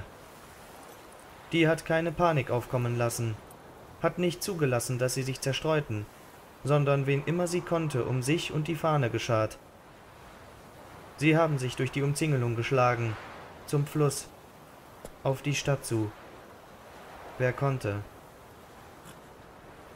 Und Kalante? Hat mit einer Handvoll Ritter den Übergang über den Fluss, den Rückzug gedeckt. Es heißt, dass sie sich wie ein Mann geschlagen hat, sich wie wahnsinnig ins dichteste Getümmel gestürzt hat. Sie ist mit Piken aufgespießt worden, als sie das Nilfgaarder Fußvolk attackierte.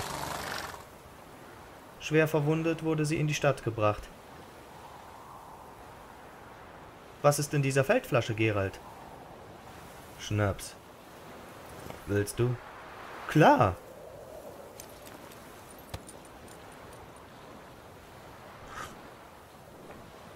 Oh. Puh. Red. Red weiter, Rittersporn. Alles. Die Stadt ist im Grunde nicht verteidigt worden. Es gab keine Belagerung. Da war niemand mehr, der auf den Mauern hätte stehen können. Die restlichen Ritter mit ihren Familien der Adel und die Königin.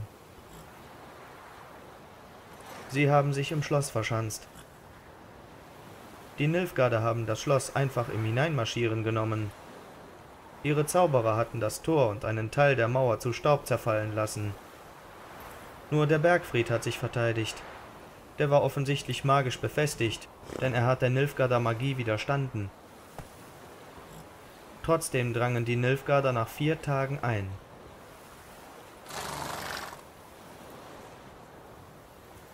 Sie fanden keine lebende Seele vor.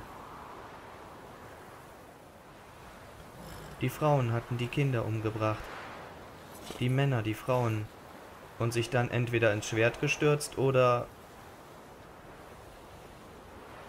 Was ist mit dir, Gerald?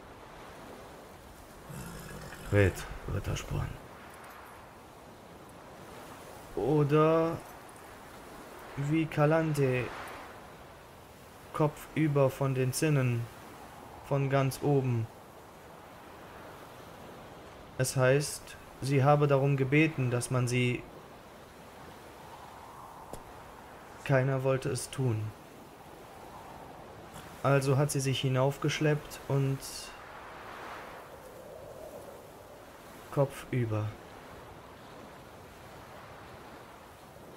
Es heißt, mit ihrem Körper sollen schreckliche Dinge angestellt worden sein. Ich will davon nicht. Was ist mit dir? Nichts. Rittersporn. In Sintra war ein Mädchen. Kalantes Enkelin. So um die neun, zehn Jahre. Sie hieß Ciri. Hast du von ihr gehört? Nein. Aber in der Stadt und im Schloss hat es ein schreckliches Blutbad gegeben. Und es ist fast niemand mit dem Leben davongekommen. Und von denen, die den Bergfried verteidigt haben, hat niemand überlebt, wie ich gesagt habe. Und die meisten Frauen und Kinder der angesehensten Geschlechter waren dort.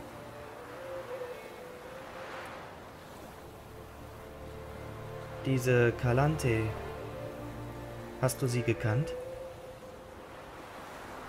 Ja. Und das Mädchen, nach dem du gefragt hast? Ciri? Hab ich auch gekannt.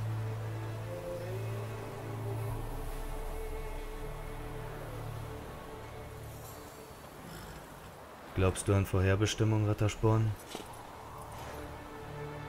Warum fragst du? Antworte. Naja, ich glaub dran. Und weißt du, dass Vorherbestimmung allein nicht genügt? Dass es etwas mehr braucht? Ich verstehe nicht, Gerald. Nicht nur du. Aber so ist es. Es braucht etwas mehr.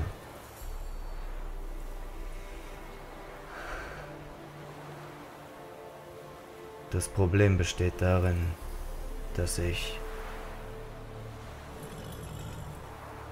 dass ich nie mehr erfahren werde, was. Was ist mit dir, Gerald?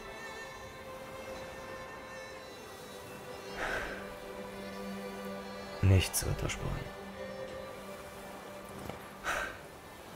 Komm, steig auf. Wir reiten. Schade um den Tag.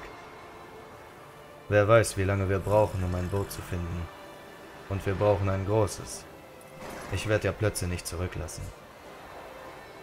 Wir setzen zusammen über? Ja. Auf dieser Seite des Flusses habe ich nichts mehr zu suchen.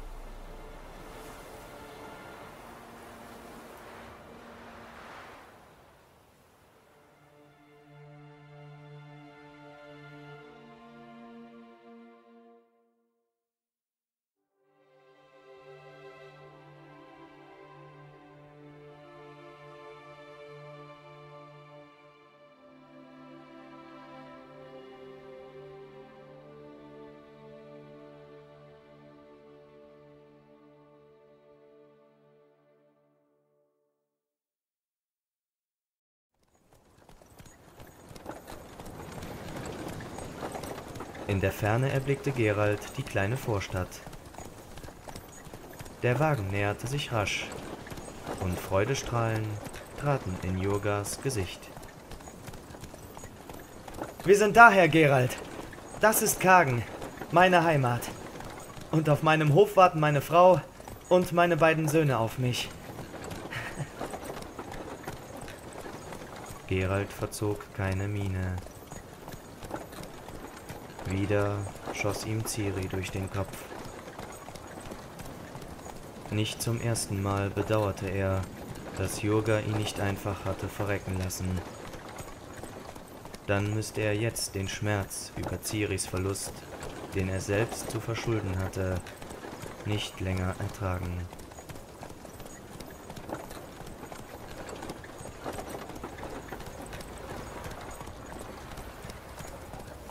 Der Wagen durchfuhr das Dorf, bewegte sich auf einen kleinen Hof zu, den eine hohe Mauer umschloss.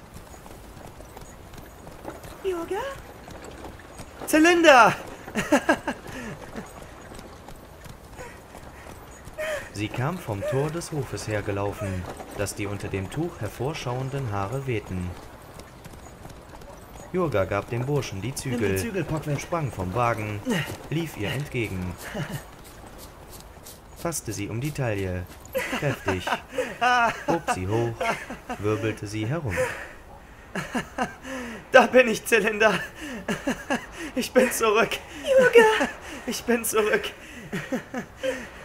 Hey da, mach das Tor auf. Der Hausherr ist wiedergekommen. Ach, Zylinder.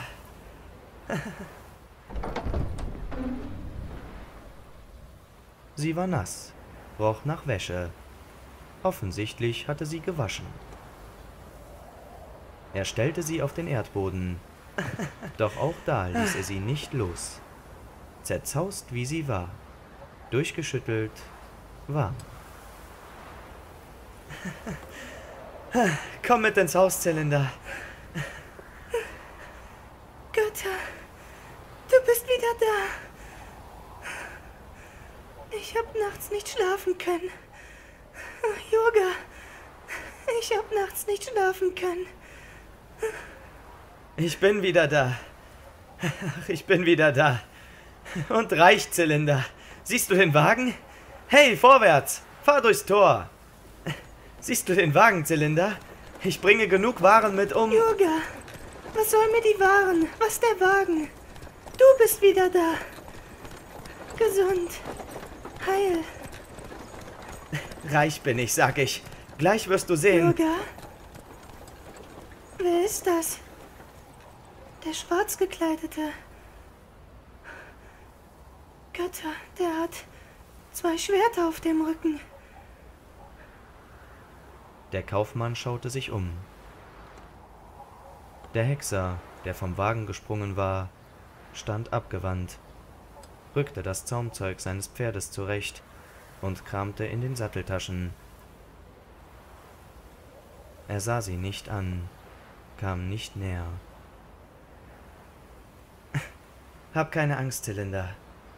Nur dank diesem Mann bin ich noch am Leben. Wäre er nicht gewesen, dann hätten wir uns niemals mehr wiedergesehen. Aber später erzähle ich dir mehr. Wo sind die Kinder? Sind sie gesund? Gesund, Yoga. Gesund. Sind aufs Feld gegangen, Spatzen schießen. Aber die Nachbarn sind schon unterwegs und sagen ihnen Bescheid, dass du daheim bist. Gleich werden sie kommen. Alle drei. Gerald zuckte zusammen. Durch sein Hexergehör hatte er unabsichtlich alles mit angehört. Äh, drei? Was heißt das, Zylinder? Hast du etwa... Nein. Aber ich muss dir etwas sagen. Du wirst nicht böse sein. Ich? Dir böse? Ich habe ein Mädchen aufgenommen, Yoga. Von den Druiden, weißt du? Von denen, die nach dem Kriege Kinder gerettet haben. In den Wäldern diese obdachlosen und verlassenen Kinder aufgesammelt haben. Halb tot.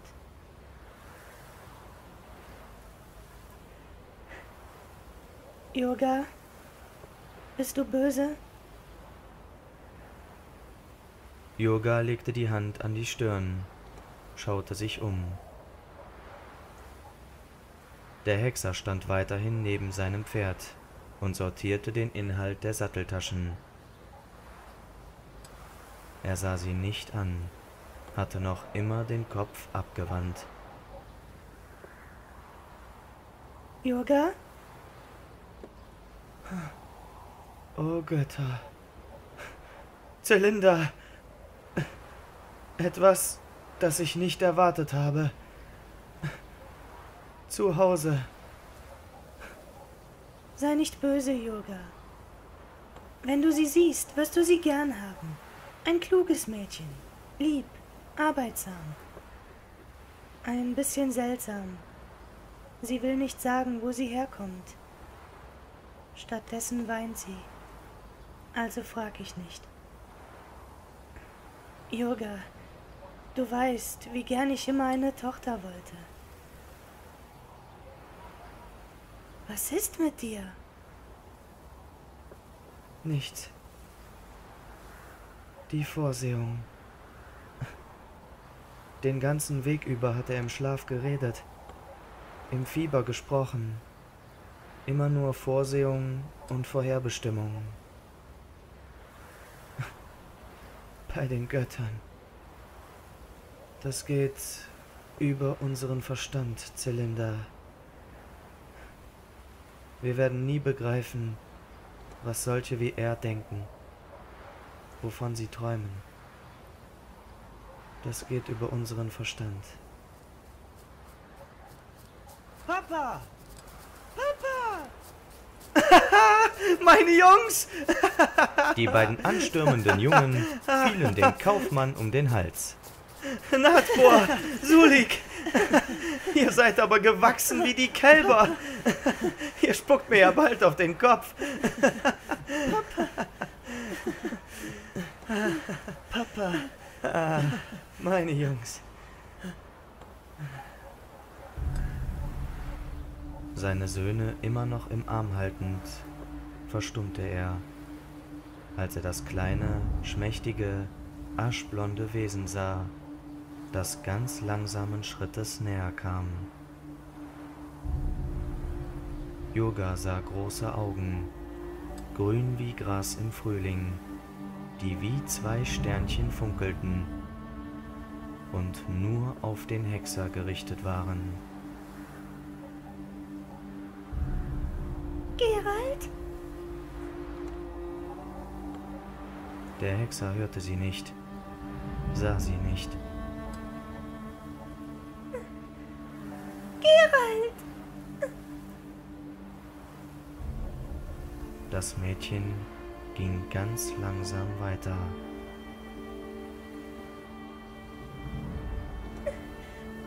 Gerald! Dem Hexer zog es durch Mark und Bein. Er schaute sich um und erblickte das Mädchen. Ciri?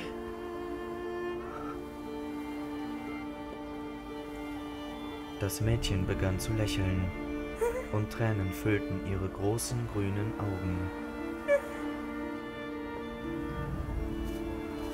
Dann stürzte sie los, rannte auf den Hexer zu.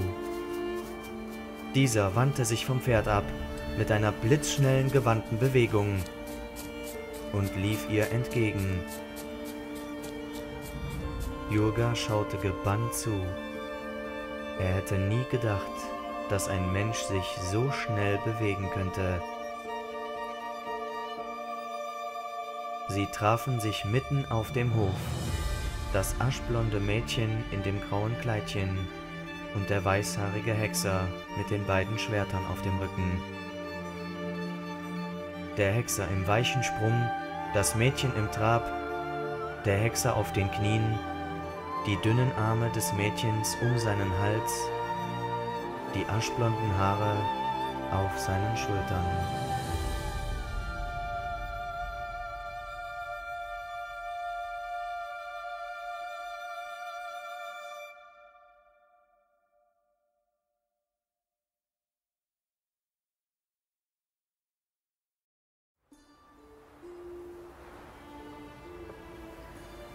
Zum ersten Mal in seinem Leben traten Tränen in Geralds Augen als er Ciri in seinen Armen hielt.